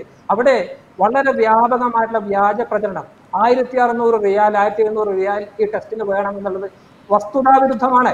വെറും നൂറ്റി ഇരുപത്തഞ്ച് റിയാലിന് അത് ചെയ്ത ആളുകൾ അവരുടെ ബില്ല് ഇപ്പോ സോഷ്യൽ മീഡിയയിൽ ലഭ്യമാണ്. ഞാൻ അങ്ങനെ അവിടെ പ്രയാസം ഇല്ല എന്നല്ല പറയുന്നത്. അങ്ങനെ ഒരു പ്രയാസം വരുമ്പോൾ ആ പ്രശ്നത്തെ അതിജീവിക്കണം. അതിനാണ് മുഖ്യമന്ത്രി ഇന്നലെ പറഞ്ഞ അതേ കാര്യം. മുഖ്യമന്ത്രി എന്താ പറഞ്ഞത്? അനുഭവങ്ങളിൽ നിന്നാണ് നമ്മൾ പാഠങ്ങൾ പഠിക്കേണ്ടത്. ഈ കൊറോണ കാലത്ത് നമ്മൾ എല്ലാ കാലത്തും കഴിഞ്ഞ ഒരാഴ്ച മുമ്പ് പറഞ്ഞ കാര്യങ്ങളല്ല ഇപ്പൊ നമ്മൾ പറയുന്നത്. തീർച്ചയായിട്ടും അനുഭവങ്ങൾ നമ്മളെ പുതിയ തീരുമാനങ്ങളിലേക്കും നിലപാടുകളിലേക്കും എത്തിക്കും. അതിന്റെ ഭാഗമായിട്ടാണ് ഈ സൗദി അറേബ്യയിൽ ഇങ്ങനെ പ്രായോഗികമായ പ്രയാസവും തടസ്സവും ഉണ്ട് എന്നുള്ളത് കൊണ്ട് അവിടെയുള്ള സാധാരണക്കാരായിട്ടുള്ള പ്രവാസികളെ ചേർത്ത് പിടിക്കണമെന്നുള്ളത് കൊണ്ടാണ് ഈ ട്രൂനാറ്റ് ടെസ്റ്റിന് ആവശ്യമായിട്ടുള്ള കിറ്റുകൾ ഉൾപ്പെടെ ചെയ്യാൻ സംസ്ഥാന സർക്കാർ. അതിന് സംസ്ഥാന സർക്കാർ നേരിട്ട് ഇടപെടാൻ കഴിയില്ലല്ലോ. അതിന് കേന്ദ്ര ഗവൺമെന്റിന്റെയും എംബസിയുടെയും മറ്റു ഏജൻസികളുടെയും ഒക്കെ സൗകര്യം സഹായം ലഭ്യമാക്കുന്നതിന് വേണ്ടിയുള്ള തയ്യാറെടുപ്പ് നിങ്ങളുടെ വിശദീകരണത്തിൽ വൈ എ സംതൃപ്തനല്ല തലകുലുക്കുകയാണ് കാരണം അദ്ദേഹം പറയുന്നത് അദ്ദേഹം പറഞ്ഞത് മുഖ്യമന്ത്രി ഇന്നലെ എന്തൊക്കെയോ പറഞ്ഞത് ഇന്ന് കാലത്തെ അത് പിന്നെ അവിടെ പത്രത്തിൽ അത് വായിച്ചിട്ട് വന്നിരുന്നു പറയാം. സൗദി അറേബ്യയിൽ യഥാർത്ഥ ഇഷ്യൂ. അവിടെ റാറ്റ് പോലും നടക്കില്ല. അവിടെ തെർമൽ സ്കാനിങ് മുഖ്യമന്ത്രി കയറ്റി വിടേണ്ടി വരും. അതിന് ഇടപെടണം. ഇടപെടണം അരുണ്ട പാർട്ടി കേന്ദ്രം? അതിന് ഈ മൂന്ന് മാസം മുമ്പ് കൊറോണ വന്ന് ഇപ്പൊ പലതരത്തിൽ സ്വഭാവം ഇപ്പോഴാണോ ചെയ്യേണ്ടത്? അതിന് സമയമില്ലായിരുന്നോ. മൂന്ന് മാസം എ മുമ്പ് റഹീം- ആലോചിക്കണ്ടായിരുന്നോ. Advocate Y A Saleem Raheem- വന്നിരുന്ന് വിട്ടിത്തരം പറയുമ്പോൾ Advocate വൈ എ റഹീം അല്ല, അതുകൂടി- അത് അതുകൂടി ഇവർ പറയാം. ഞാൻ കേന്ദ്രത്തിന്റെ തലയിൽ വെച്ചാൽ അവർ ചെയ്യുമെന്ന് നിങ്ങൾ വിചാരിക്കുന്നുണ്ടോ? അരുണ്ട പാർട്ടി? അവരവർക്ക് ഭാരവാക്കാൻ നിൽക്കുന്നു ഇവർ അവർക്ക് ഭാരവാക്കാൻ നിൽക്കുന്നു. ഇതിനിടയിൽ വിഷമിക്കുന്നത് ആരാ? പാവപ്പെട്ട സൗദിയിലെയും ബഹ്റൈനിലെയും കുവൈറ്റിലെയും പാവപ്പെട്ട മറ്റുള്ളവർക്കൂടെ സംസാരിക്കാൻ സമയം കൊടുക്കണം. മറ്റുള്ളവർക്കൂടെ സംസാരിക്കാൻ സമയം കൊടുക്കണം. മറ്റുള്ളവർക്കൂടെ സംസാരിക്കാൻ സമയം കൊടുത്താട്ടെ ഞാൻ പ്ലീസ് അങ്ങ് പറഞ്ഞപ്പോ ആരും ഞാൻ ഞാൻ സമ്മതിക്കില്ല ബാക്കിയുള്ളവർ സംസാരിക്കാൻ സമയം കൊടുത്താട്ടെ ദയവായി ഞാൻ എന്തായാലും ഇനി എന്നെ സാറ് അങ്ങ് വിളിക്കണ്ട ഞാനില്ല ഞാൻ പറഞ്ഞല്ലോ അനുഭവത്തിന്റെ കൂടി അടിസ്ഥാനത്തിലാണ് സംസ്ഥാന സർക്കാർ ഇങ്ങനെ ഒരു തീരുമാനം എടുത്തത്. കാരണം മുഖ്യമന്ത്രി പറഞ്ഞു ഈ കഴിഞ്ഞ ഒരു മാസക്കാലമായിട്ട് കേരളത്തിലേക്ക് വന്ന ആളുകളുടെ ആ ഡാറ്റ പരിശോധിച്ച് അത് വിലയിരുത്തിയിട്ട് അതിൽ എത്ര ശതമാനമാണ് രോഗബാധിതർ എന്ന് തിരിച്ചറിഞ്ഞതിന്റെ അടിസ്ഥാനത്തിലാണ് ഒരു സമൂഹ വ്യാപനത്തിലേക്ക് കേരളത്തിലെ മൂന്നര കോടി മലയാളികളെ മനുഷ്യരെ ഈ ഒരു സമൂഹ വ്യാപനത്തിലേക്ക് തള്ളിവിടരുത്. അത് ഈ പ്രവാസികൾ ഉൾപ്പെടെയുള്ള ആളുകളാണ് നമ്മൾ ഇവിടുന്ന് പോകുമ്പോൾ നമ്മൾ രോഗവുമായിട്ട് നാട്ടിലേക്ക് പോകണം. ചില ആളുകൾ അങ്ങനെയാ പറയുന്നത്. നാട്ടിലേക്ക് എത്തണം. ഈ ഗവൺമെന്റ് ഉദ്ദേശിക്കുന്നത് നാട്ടിലേക്ക് എന്നതല്ല. വളരെ കൃത്യമായിട്ട് അവരെ സുരക്ഷിതമായിട്ട് നാട്ടിലെത്തിക്കുക നാട്ടിലുള്ളവരുടെ സുരക്ഷ ഉറപ്പാക്കുക എന്നുള്ളത് തീർച്ചയായിട്ടും അത് അങ്ങ് പറയുന്ന ഇന്നലെയൊക്കെ ചർച്ച ചെയ്തു പോയ വിഷയങ്ങളാണ്. നമ്മൾ അതല്ല ഇന്നത്തെ വിഷയം. ദയവേത് വിഷയത്തിലേക്ക് വരൂ. അതായത് ഇപ്പോൾ വൈ റഹീം അദ്ദേഹം എനിക്ക് തോന്നുന്നു അദ്ദേഹത്തിന് വേറെ പ്രോഗ്രാം ഉണ്ട്. എന്തായാലും അദ്ദേഹം സ്ക്രീനിൽ നിന്ന് പോയിരിക്കുകയാണ്. പക്ഷേ ചർച്ചകളിലൊക്കെ നമ്മൾ പ്രതീക്ഷിക്കുന്നത് അദ്ദേഹത്തെ പോലെ ഉയർന്ന സാമൂഹ്യ ബോധവും രാഷ്ട്രീയത്തിനപ്പുറത്തേക്ക് ചിന്തിക്കാൻ കഴിയുന്ന സാംസ്കാരിക പ്രവർത്തകരുമൊക്കെ ചെറിയ ചെറിയ വിമർശനങ്ങളുടെ മുമ്പിൽ പക പതറിപ്പോകാതിരിക്കാൻ ശ്രദ്ധിക്കണം. അതാണ് ഏറ്റവും ആദ്യം ശ്രദ്ധിക്കേണ്ടത്. ഇവിടെ അദ്ദേഹത്തെ പറ്റി ഇവിടെ ആരും കുറ്റം പറഞ്ഞിട്ടില്ല. മൂന്നോ നാല് കോളുകൾ വന്നവരൊക്കെ തന്നെ കേരള ഗവൺമെന്റിനെ സപ്പോർട്ട് ചെയ്തു എന്നുള്ളൊരു കാരണം കൊണ്ട് മാത്രം അദ്ദേഹം ടെലിഫോൺ ഇട്ടിട്ട് പോകുന്നത് ശരിയാണോ എന്നൊന്നും എനിക്കറിയില്ല. അതൊക്കെ ജനങ്ങൾ തീരുമാനിച്ചോട്ടെ. അരുൺ അരുൺ എന്തോ സംസാരിക്കാനുണ്ടല്ലോ സലീമിനോട്. പറയൂ. നമ്മൾ സംസാരിക്കുന്ന ഞാൻ വരാം. വിഷയം, അരുൺ ഒരു മിനിറ്റ്. എനിക്കൊരു കോളിലേക്ക് ഒരു മുപ്പത് സെക്കൻഡ്. ഹലോ നമസ്കാരം. ഹലോ. നമസ്കാരം. പെട്ടെന്ന് പറഞ്ഞണം നമസ്കാരം. ഞാൻ അഞ്ചു മിനിറ്റോളം ഹോൾഡ് ചെയ്തിരിക്കുകയായിരുന്നു. ആ ദയവേത് പറഞ്ഞോട്ടെ. എനിക്ക് നാല് മിനിറ്റ് ഇനി സമയം ആകെയുള്ളൂ പറഞ്ഞോട്ടെ. Okay okay. അല്ല ഞാൻ എനിക്കൊരു അഭിപ്രായം പറയാം. ഇപ്പൊ വൈ എ റഹീം സാറിനെ കൂട്ട് സീനിയർ ആയിട്ടുള്ള ആളുകളൊക്കെ ഇങ്ങനെയുള്ള ഒരു ചർച്ചയിൽ ഇത്ര വികാരപരമായിട്ട് പറയേണ്ട കാര്യം എന്താണ്? ഈ രാഷ്ട്രീയം ഇപ്പോഴും ഇവിടെ നാട്ടിൽ നടക്കുന്ന രാഷ്ട്രീയം തന്നെയാണ് ഇവിടെയും നടക്കുന്നത്. ഈ സംഘടനകളും നടത്തുന്നതാണ് ഞങ്ങളെ കൂട്ടുള്ള പ്രേക്ഷകർ കാണുന്നത്. അതായത് ഇവരൊക്കെ കൂടി ഒന്നിച്ചു കൂടിയിട്ട് നമ്മളെ സാധാരണപ്പെട്ട പാവപ്പെട്ട ആളുകളെ കൊണ്ടുപോകാനുള്ള ശ്രമം നടത്തേണ്ടതിന് പകരം ഇവർ ഇവിടെ വന്ന് നാട്ടിൽ ചെയ്യുന്ന അതേ സെയിം കാര്യങ്ങൾ തന്നെയാണ് ഇവിടെ വന്നും ഈ ചാനൽ ചർച്ചയിൽ വൈ എ റഹീം സാറിനെ കൂട്ടുള്ള അതുപോലെ പലരും. നമുക്ക് അത്യാവശ്യം നമ്മുടെ പാവപ്പെട്ട ഇപ്പൊ ഒരു ചെയ് വിളിച്ചു അവരുടെ എന്താണ് കൊണ്ടുപോയി. എന്താണ് എന്താണ് പേര് എന്തുകൊണ്ട് ഒന്നിച്ച് പേരെന്താണ് പേരെന്താണ്? ഹരി ഹരി ഷാർജയിൽ നിന്ന് ഹരി ഇന്ന് വയ്യറഹീം എന്തോ വൈകാരികമായി പ്രതികരിച്ചു എന്ന് മാത്രമല്ല എല്ലാ ദിവസവും അദ്ദേഹം അതുപോലെ പ്രതികരിക്കുന്ന ആളല്ല. എന്തായാലും ഹരി വിളിച്ചതിന് സന്തോഷം. ശ്രീ അഡ്വക്കേറ്റ് അരുൺ തുടർന്നോളൂ. പെട്ടെന്ന് ദയവേത്. നമ്മുടെ വിഷയം നമ്മൾ വളരെ കൃത്യമായി പറഞ്ഞിട്ടുണ്ട്. ഭീതി വ്യാപാരത്തെക്കുറിച്ചും ഇത്തരം അനാവശ്യമായ ചർച്ചകളെക്കുറിച്ചും കൊണ്ടുള്ള വിഷയമായിട്ടാണ് അങ്ങനെ വിളിച്ചപ്പോൾ പറഞ്ഞത്. ഇതിപ്പോൾ ഈ അനുഭവത്തിൽ നിന്ന് പാഠം പഠിക്കണം തുടങ്ങിയ അഡ്വക്കേറ്റ് സലീം പറഞ്ഞ കാര്യങ്ങളൊക്കെ വളരെ യൂണിവേഴ്സൽ ട്രൂത്താണ് പക്ഷേ അദ്ദേഹത്തിന്റെ പാർട്ടി അനുഭവത്തിൽ നിന്ന് എന്തെങ്കിലും പാഠം പഠിച്ചിട്ടുണ്ടോ എന്നുള്ള കാര്യത്തിൽ എനിക്ക് സംശയമുണ്ട്. അതുകൊണ്ട് തന്നെയാണ് ഒരു സെക്കൻഡ് അതുകൊണ്ട് തന്നെയാണ് അനുഭവത്തിൽ നിന്നുള്ള പാഠങ്ങൾ കണ്ടിട്ടാണ് ഇതൊന്ന് ഇതൊന്ന് ഇത് ഇതിനെ ഡീൽ ചെയ്യുന്നതിന് വേണ്ടിയൊക്കെ ഒരു അല്പം സമയം എടുത്തതിന്റെ പേരിൽ അന്ന് നടത്തിയ ഭീതി വ്യാപാരത്തെയാണ് ഞാൻ ആദ്യം ഓർമ്മിപ്പിച്ചത്. പിന്നെ ഈ വിളിച്ച പ്രേക്ഷകരോട് എനിക്ക് രണ്ട് ചെറിയ കാര്യം പറയാനുള്ളത്. ഇവിടുത്തെ രാഷ്ട്രീയ പ്രവർത്തകരാരും അതിപ്പോൾ റഹീം സാറാണെങ്കിലും സലീം ആണെങ്കിലും സാമൂഹ്യ പ്രവർത്തകനായ ശ്രീ മൊയ്തീൻ കോയ അങ്ങനെയുള്ളവരാണെങ്കിലും ആരും വ്യത്യസ്തരല്ല. എല്ലാവരും ഒരുമിച്ച് തന്നെയാണ്. വളരെ ഒരുമിച്ച് ചേർന്ന് തന്നെയാണ് പ്രവാസികളുടെ പ്രശ്നങ്ങളിൽ ഇടപെടുന്നത്. ചാനൽ ചർച്ചയിൽ വന്നിരുന്ന അഭിപ്രായം പറയുന്നു എന്ന് പറഞ്ഞ് വിചാരിച്ചിട്ട് ഈ കാണുന്ന പ്രേക്ഷകർ വിചാരിക്കരുത് തമ്മിലടിക്കുവാണെന്നല്ല. എല്ലാ പിന്നെ സംഘടനകളും ഇവിടുത്തെ പ്രവാസികളുടെ പ്രശ്നങ്ങൾക്ക് ഒരേ മനസ്സാണ്. അവർ ഒരേപോലെ തന്നെ പ്രവർത്തിക്കുന്നുണ്ട്. ശരി. ശ്രീ മൊയ്തീൻ കോയ നമുക്കറിയാം അങ്ങ് വളരെ ക്ഷീണിതനായി തോന്നുന്നു. കാരണം ഒരുപക്ഷെങ്കിൽ വയ്യ റഹീമിന്റെ പ്രതികരണം കണ്ടിട്ടായിരിക്കും. നമുക്കിത് ഇതൊക്കെ നമുക്കൊരു ഒരു ഇതിന്റെ ഭാഗമായി കണ്ടാൽ മതി. പക്ഷെങ്കിൽ എന്റെ വിഷയത്തിൽ ഞാൻ ഉറച്ചു നിൽക്കുകയാണ്. ചിലരെങ്കിലും ചിലരെങ്കിലും സാമൂഹ്യ പ്രവർത്തന രംഗത്തെ ഒരു പക്ഷെങ്കിൽ രാഷ്ട്രീയ തിമിരം ബാധിച്ചിട്ടുള്ള ചിലരെങ്കിലും സാഹചര്യത്തെ മുതലെടുത്തുകൊണ്ട് ഭീതി ഭീതി ജവാരം നടത്താൻ ശ്രമിക്കുന്നുണ്ടെങ്കിൽ അത് അവസാനിപ്പിക്കേണ്ടതാണ് എന്നാണ് ഈ ചർച്ചയുടെ ഉദ്ദേശം എന്ന് പറയുന്നു.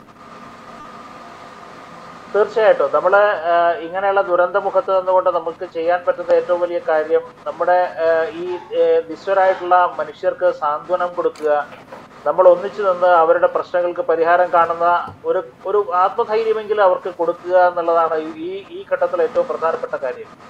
കാരണം ഈ ഒരു ഘട്ടത്തെ നമുക്ക് അതിജീവിക്കണമെങ്കിൽ നമ്മൾ ഭിന്നിച്ചു നിൽക്കുകയല്ല നമ്മൾ ഒന്നിച്ചു നിൽക്കുക തന്നെയാണ് വേണ്ടത്. ഇപ്പൊ ഇവിടെ വക്കീലായാലും സലീംജി ആയാലും അരുൺ ആയാലും ഷെരീഫ്ജി ആയാലും ഒക്കെ അവരവരുടെ കർമ്മരംഗത്ത് നിന്ന് അവർ ആവത് ചെയ്യുന്ന ആളുകളാണ് എന്ന് നമുക്ക് അവരുടെ ഏറെക്കാലത്തെ പ്രവർത്തനം കൊണ്ട് അറിയാം. പക്ഷെ അവർ അവരുടെ രാഷ്ട്രീയപരമായിട്ടുള്ള അഭിപ്രായ ഗതികൾ പ്രകടിപ്പിക്കേണ്ട ഒരു വേദി വരുമ്പോൾ ഇത്തരത്തിൽ വികാരം കൊള്ളുകയും ഒരുപക്ഷെ വലിയ നല്ല കാര്യങ്ങൾക്ക് ഉപയോഗിക്കപ്പെടേണ്ട അവരുടെ സമയവും അധ്വാനവും അവരുടെ കർമ്മശേഷിയും അവരുടെ ബുദ്ധിശേഷിയും ഒക്കെ മറ്റൊരു രീതിയിലേക്ക് ബയാസ്ഡ് ആവുകയും ചെയ്തതാണ് നമ്മൾ കാണുന്നത്. യഥാർത്ഥത്തിൽ പൊതുപ്രശ്നങ്ങളിൽ ഏകോപിതമായി നിൽക്കുവാനുള്ള പ്രവാസിയുടെ ഒരു സംസ്കാരം ഇനിയും രൂപപ്പെട്ടിട്ടില്ല എന്നാണ് എന്റെ മുപ്പത് വർഷത്തെ പ്രവാസ ജീവിതവും എന്റെ ദീർഘകാലത്തെ മാധ്യമ പ്രവർത്തന ജീവിതം എന്നെ അവിടെയാണ് ശ്രീ പൊതു പ്രശ്നങ്ങൾ ഉണ്ടെങ്കിൽ പോലും പൊതു പ്രശ്നങ്ങൾ ഉണ്ടെങ്കിലും നമ്മുടെ രാഷ്ട്രീയത്തിന്റെ കണ്ണാടിയിൽ കൂടെ നമ്മൾ ഏത് രാഷ്ട്രീയ തത്വസംഹിതയിൽ വിശ്വസിക്കുന്നു അതിന്റെ കണ്ണാടിയിലൂടെ അതിനെ നോക്കി കാണുകയും നിർവചിക്കുകയും ചെയ്യാൻ ശ്രമിക്കുന്ന ഒരു ശ്രമവും അതിനുവേണ്ട പ്രചരണത്തിനായി സോഷ്യൽ മീഡിയയെ കേൾക്കാൻ സോഷ്യൽ മീഡിയയെ ഉപയോഗിക്കാൻ ശ്രമിക്കുന്നതുമുണ്ടല്ലോ ശ്രീ ഷെറീഫ്. അവിടെയാണല്ലോ പ്രശ്നം അതാണല്ലോ ചർച്ച. അതായത് കേൾക്കാമോ ശ്രീ ഷെറീഫ്? ഇല്ല അരുൺ കേൾക്കാമോ? ശ്രീ സലീം കേൾക്കാമോ? കേൾക്കാം കേൾക്കാം. ഷെറീഫ് കേൾക്കാമോ? ഇല്ല ഞാൻ പറഞ്ഞത് ശ്രീ സലീം അതായത് രാഷ്ട്രീയപരമായ ചിന്തകൾ എന്തുമായിക്കോട്ടെ പക്ഷേ പൊതുപ്രവ പൊതുപ്രശ്നങ്ങളിൽ ഒന്നിച്ച് നിൽക്കേണ്ട പ്രവാസികൾ പൊതുപ്രശ്നങ്ങളിൽ ഒന്നിച്ച് നിൽക്കുന്നതിന് പകരം കാലങ്ങളായി പതിറ്റാണ്ടുകളായി ഈ പ്രവാസികൾ അനുഭവിക്കുന്ന എല്ലാ പ്രശ്നങ്ങളുടെയും കാരണം ഇതാണ്. അവരവരുടെ രാഷ്ട്രീയ കണ്ണാടിയിലൂടെ പ്രശ്നങ്ങളെ കാണുകയും അതിനനുസരിച്ചുള്ള പ്രചരണങ്ങൾ നടത്തുകയും ചെയ്യുന്നിടത്ത് പ്രവാസി എന്ന പൊതു സ്വത്വം നഷ്ടപ്പെടുകയില്ലേ?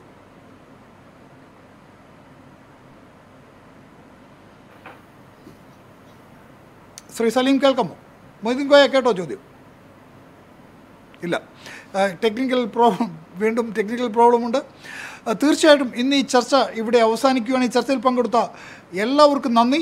ഞങ്ങൾ ഉദ്ദേശിച്ചത് തീർച്ചയായിട്ടും ഇത്തരം കാര്യങ്ങൾ പ്രവാസിയുടെ ദൗർബല്യങ്ങളെ മുതലെടുക്കാൻ ആരും രാഷ്ട്രീയപരമായി ശ്രമിക്കരുത് എന്നുള്ള എന്നുള്ള സന്ദേശം തന്നെയാണ് ഈ ചർച്ച മുമ്പോട്ട് വെച്ചത്.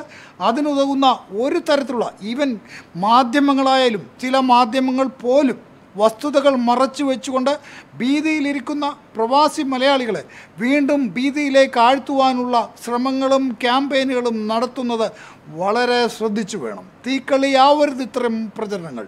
തീർച്ചയായിട്ടും ഇത് എല്ലാ രാഷ്ട്രീയ സംഘടനകളും ഭരണകക്ഷിയായാലും പ്രതിപക്ഷമായാലും കേന്ദ്രത്തിലെ ഭരണകക്ഷിയായാലും പ്രതിപക്ഷമായാലും എല്ലാവരും ശ്രദ്ധിക്കേണ്ടത് ഈ ആശങ്കയിലായിരിക്കുന്ന പ്രവാസി മലയാളികളുടെ ആശങ്കയോടൊപ്പം നിൽക്കാനാണ്. ആ ആശങ്കയിൽ എഴുതിയിൽ എണ്ണ കോരുന്നത് പോലെയുള്ള ശ്രമങ്ങൾ ഇനിയും ആവർത്തിക്കാതിരിക്കുവാൻ ഈ ചർച്ച ഉപകരിച്ചെങ്കിൽ ഞങ്ങൾ കൃതാർത്ഥരായി ചർച്ചയിൽ പങ്കെടുത്ത എല്ലാവർക്കും വിളിച്ച എല്ലാവർക്കും ഹൃദയത്തിന്റെ ഭാഷയിലുള്ള നന്ദി അറിയിക്കുന്നു. നാളൊരു നാളെ മറ്റൊരു വിഷയമായി മറ്റ് അതിഥികളുമായി കാണാം. അതുവരെ പ്രിയപ്പെട്ട പ്രേക്ഷകരെ ഡോം വഴി V R with you. Thank you very much ജനങ്ങൾക്കൊപ്പം വാർത്തയ്ക്കൊപ്പം നന്മയോടൊപ്പം. N T V U A to the world.